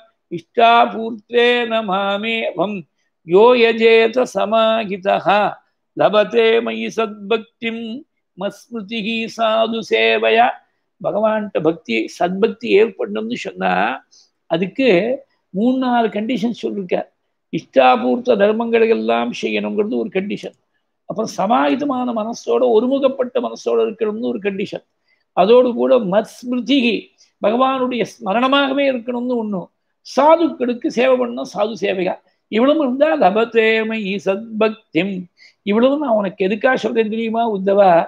பிராயேண பக்தி யோகேன சத்சங்கேன வினோத்தவ நோபாயோ வித்யதே சத்ரியக்கு. பிராயணங்கி சதாமகம். சத்சங்கத்தை விட்டு பக்தியை விட்டு வேறு உபாயம் கிடையாது. பிராயணம் கிசதாமகம் பிராயணம்னா பிரகர்ஷ பிரகர்ஷம் அயனம் ஆசிரயகான்னு அர்த்தம் பண்ணாள் ஸ்ரீதர ரொம்ப சிறந்த வழி அயனத்துக்கு வழி நேர் அர்த்தம்? இந்த இடத்துல ஆசிரியம். சாதுக்களுக்கெல்லாம் நான் தான் சிறந்த ஆசிரியமா இருக்கேன். அதனால சத்சங்கத்தை தவிர பக்தியை தவிர வேற உபாயம் கிடையாது. அதை தத்பரமம் குஹ்யம் வததோ யதுநந்தனக சுகோப்பியமபி வக்ஷ்யாமி. துவம் மே சுகிருத் சுகிருத்சக இந்த விஷயங்கள்லாம் ரொம்ப ரகசியமான விஷயங்கள். இதை உனக்கு நான் எதுக்காக எடுத்து சொல்றேன் தெரியுமா? நீ எனக்கு ரொம்ப வேண்டிய சகாவா இருக்கே பிரித்தனா இருக்கே பிரியமா இருக்கே அதனால ரகசியமா இருந்தாலும் உனக்கு உபதேசம் பண்றேன்னு சொல்லி பதினொன்னாவது அத்தியாயத்தை முடிச்சார். இந்த சத்சங்கத்துடைய பெருமையை மேல பன்னெண்டாவது அத்தியாயத்துல ரொம்ப வருஷிச்சிருக்காள் என்ன சத்சங்கம் எந்த அளவுக்கு வசப்படுத்துமோ அந்த அளவுக்கு வேற எந்த உபாயமும் என்ன கட்டுப்படுத்தாது உத்தவா? न रोदयति माँ योगः न साङ्ख्यं धर्म एव च न स्वाध्यायस्तपस्त्यागः, नेहेष्टापूर्तं न दक्षिणः। व्रतानि यज्ञच्छन्दांसि तीर्थानि नियमायमाः। यथा वरुन्धे सत्सङ्गः ಸರ್ವಸಂಗಾಪಹೋಹಿಮಗಾಂ ಯೋಗಮು ಯೋಗಂನ இந்த யம நியம ஆசன பிராணாயாமாதி அஷ்டாங்க யோகம் பதஞ்சலி சொல்லி கொடுத்த யோகம் அப்படிதான் அர்த்தம் பண்ணிருக்காள் ஸ்ரீதரர் இந்த சாங்கியம் சாங்கியம்னா தத்துவத்தை பற்றி விசாரம் பண்ணி தெரிஞ்சுக்கிறது. இந்த சாங்கியம் தர்ம ஏவச்சா சாமான்யமான தர்மங்கள் அகிம்சை சத்தியம் அஸ்தேயம் பிரம்மச்சரியம் அபரிகிரகம்னு இது எல்லாருக்கும் பொதுவான சாமானிய தர்மங்களா சொல்லியிருக்காள் அகிம்சை சத்தியம் அஸ்தேயம்னா திருடாமல் இருக்கிறது. அதே மாதிரி பிரம்மச்சரியம் அதே மாதிரி அபரிகிரகம் தேவைக்கு மேலே கிரகிக்காமல் இருக்கிறது. இதெல்லாம் பொதுவாக எல்லாருக்கும் சொல்லியிருக்கக்கூடிய தர்மங்கள். இந்த மாதிரி தர்மங்களோ ந சுவாத்தியாயா வேதத்தை பாராயணம் பண்ணுறது சுவாத்தியாயம் தபகா தபகானா ஸ்வதர்மத்தை அனுஷ்டானம் பண்ணுறது. அதே மாதிரி தியாகா தியாகம்னா சந்நியாசம்னு அர்த்தம் பண்ண. எல்லாத்தையும் தியாகம் பண்ணக்கூடிய ஒரு நல்லதானே சந்நியாசம். நேஷ்டாபூர்த்தம் நதக்ஷிணா இஷ்டாபூர்த்த தர்மங்கள் என்ன இப்பதானே பார்த்தோம். இந்த இஷ்டாபூர்த்த தர்மங்கள் இஷ்ட தர்மங்களோ பூர்த்த தர்மங்களோ அதே மாதிரி நிறைய தட்சிணை யாகங்கள்ல கொடுக்கக்கூடிய தட்சிணை வேற வைதிக காரியங்கள்ல கொடுக்கக்கூடிய தட்சிணை நேஷ்டாபூர்த்தம் தட்சிணா. அதே மாதிரி என்ன வேற ஒரு உபாயங்களாலையும் நம்மளை சுலபத்தில் கட்டுப்படுத்த முடியாது. விரதானி தீர் விரதானி யஜ்யச்சந்தாம்சி ஏகாசி முதலிய விரதங்கள் யஜ்யான்னு சொன்னால் தேவ பூஜான்னு அர்த்தம் பண்ணாள் ஸ்ரீதரர் பகவான் ஆராதிக்கக்கூடிய பூஜா கிரமங்களோ சந்தாம்சி சிறந்த மந்திரங்கள் ரகசியமான வேத மந்திரங்கள் அதே மாதிரி தீர்த்தானி நியமாயமாக கங்கை காவேரி முதலிய புண்ணிய தீர்த்தங்கள்ல போய் ஸ்நானம் பண்ணுறது யம நியமங்கள் என்னன்னு கபிலோபாக்கியானத்தில் ஏற்கனவே பார்த்துருக்கோம். அது பன்னெண்டு விதமான யமங்கள் பன்னெண்டு விதமான நியமங்கள். பின்னாடி உத்தவருக்கு சொல்ல போகிறாள் ஏகாதசத்துல இந்த யம நியமங்களை அனுஷ்டானம் பண்ணுறதோ இது எதுவுமே அந்த அளவுக்கு அதாவது வேதத்தை அத்தியனம் பண்ணாலோ வேத மந்திரங்களை ஜபம் பண்ணாலோ யமநியமங்களை அனுஷ்டானம் பண்ணாலோ இல்லை யஜ்யத்தை பண்ணாலோ தேவா தேவதா ஆராதனம் பண்ணாலோ சாங்கியத்தில் சொல்லியிருக்கக்கூடிய தத்துவ விசாரம் பண்ணாலோ பிராணாயாமாதி யோக மார்க்கங்களை அவலம்பிச்சாலோ இல்லை என்ன வேற எந்த உபாயத்தாலையும் அந்த அளவுக்கு கட்டுப்படுத்த முடியாது. சத் சங்கம் எந்த அளவுக்கு என்ன கட்டுப்படுத்துமோ அந்த அளவுக்கு வேற ஒரு மார்க்கம் கட்டுப்படுத்தாது. யதா வருந்தே சத்சங்கா சர்வசங்காபகோகிமா சர்வசங்கங்களையும் போக்கி வைக்கக்கூடிய லௌகிகமான சங்கத்தை எல்லாத்தையும் போக்கி வைக்கக்கூடிய சத் சங்கம் எந்த அளவுக்கு என்ன வசப்படுத்துமோ அந்த அளவுக்கு வேற ஒரு உபாயமானது வசப்படுத்தாது. இப்படி சொல்லிவிட்டு சத்சங்கத்தால பகவான் யார் அடைஞ்சாள்னு மேல ஒரு பெரிய லிஸ்ட் கொடுத்து கோபஸ்திகளுடைய பக்தி எல்லாம் ரொம்ப சக்தியாக பேசியிருக்காள் அதெல்லாம் நாளைக்கு தொடர்ந்து பார்ப்போம். பன்னெண்டாவது அத்தியாயத்தை ஆரம்பிச்சாச்சு. பதிமூணாவது அத்தியாயம் ஹம்சோபாக்கியானம். அதுக்கு மேலே பதினாலில் பக்தியுடைய பெருமையை மறுபடியும் திருப்பி சொல்றாள் அதெல்லாம் நாளைக்கு தொடர்ந்து யதாக்கிரமம் பார்க்கணும். பகவானுடைய கிருப்பை எப்படி இருக்கோ அப்படி நடக்கும். எல்லாரும் சிரவணம் பண்ணி பரமக்ஷேமத்தை அடையணும். கனகல சத்கல சிந்து ஜலைரனு சிஞ்சினுத குணரங்கபுவம். பஜதி சகிம் ந சச்சி குஜ கும்பகட்டி பரிரம்ப சுகானுபவம்.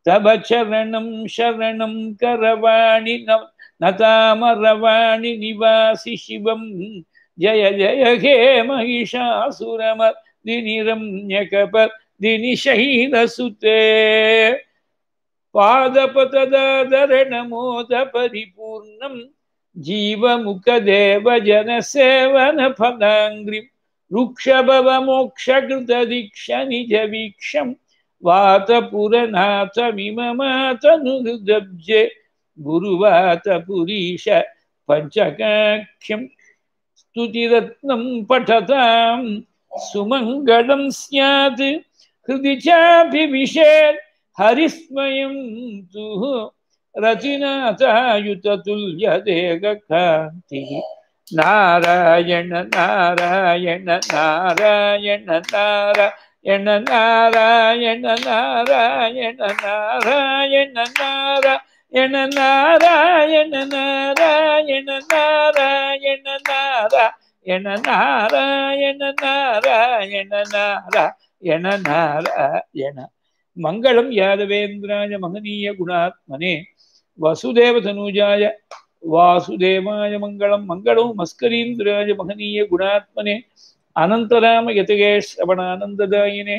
शुकशास्त्रस्वरूपाय पारायणपराय च रामचन्द्राश्रयाख्याय संयमीन्द्राय मङ्गलं काञ्चनाद्रिनिभाङ्गाय वाञ्छितार्थप्रदायिने अञ्जनाभाग्यरूपाय आञ्जनेयाय मङ्गलं गोपिकाजीवनस्मरणं गोविन्द गोविन्द श्रीसद्गुरुस्वामिनः जय आञ्जनेयस्वामिनः जय स्वस्ति प्रजाभ्यः परिपालयन्तां न्याय्येन मार्गेण महीं महीषाः गोब्राह्मणेभ्यः शुभमस्तु नित्यं लोकाः समस्ताः सुखिनो भवन्तु कायेन वाचा मनसा इन्द्रियैर्वा बुद्ध्या आत्मना वा प्रकृते स्वभावात् करोमि यद्यत् सकलं परस्मै नारायणायेति समर्पयामि त्वदीयं वस्तु गोविन्दा तुभ्यमेव समर्पये। तेन त्वदङ्गिकमले रतिं मे यच्च शाश्वतीं यदक्षरपदभ्रष्टं। मात्रा हीनं तु यद्भवेत्, तत्सर्वं क्षम्यतां देवनारायण नमोऽस्तु ते। विसर्गबिन्दुमात्राश्च पदपादाक्षराणि च, न्यूनानि चातिरिक्तानि क्षमस्व पुरुषोत्तमा, क्षमस्व यदुनन्दना, क्षमस्व गुरुसत्तमा, क्षमस्व हरिसत्तमा। यज्ञेशाच्युत गोविन्द विष्णु ऋषिकेश वासुदेव नमोस्तुते श्री श्रीहरये नमः। गुरुवायुरप्प शरणं नारायण। अखिल गुरो भगवन्नमस्ते वासुदेव, कामाक्षी गुरुमूर्ते, त्वां नमामि कामाक्षी गुरुवर्य पादुके शरणम्।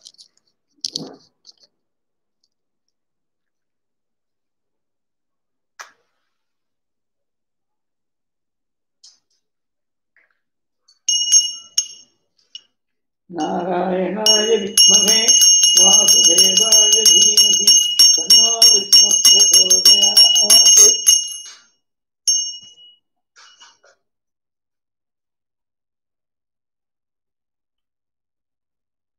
वातेन सगवेन रक्षा रक्षां धारयामि। ॐ हर ॐ हर ॐ हर।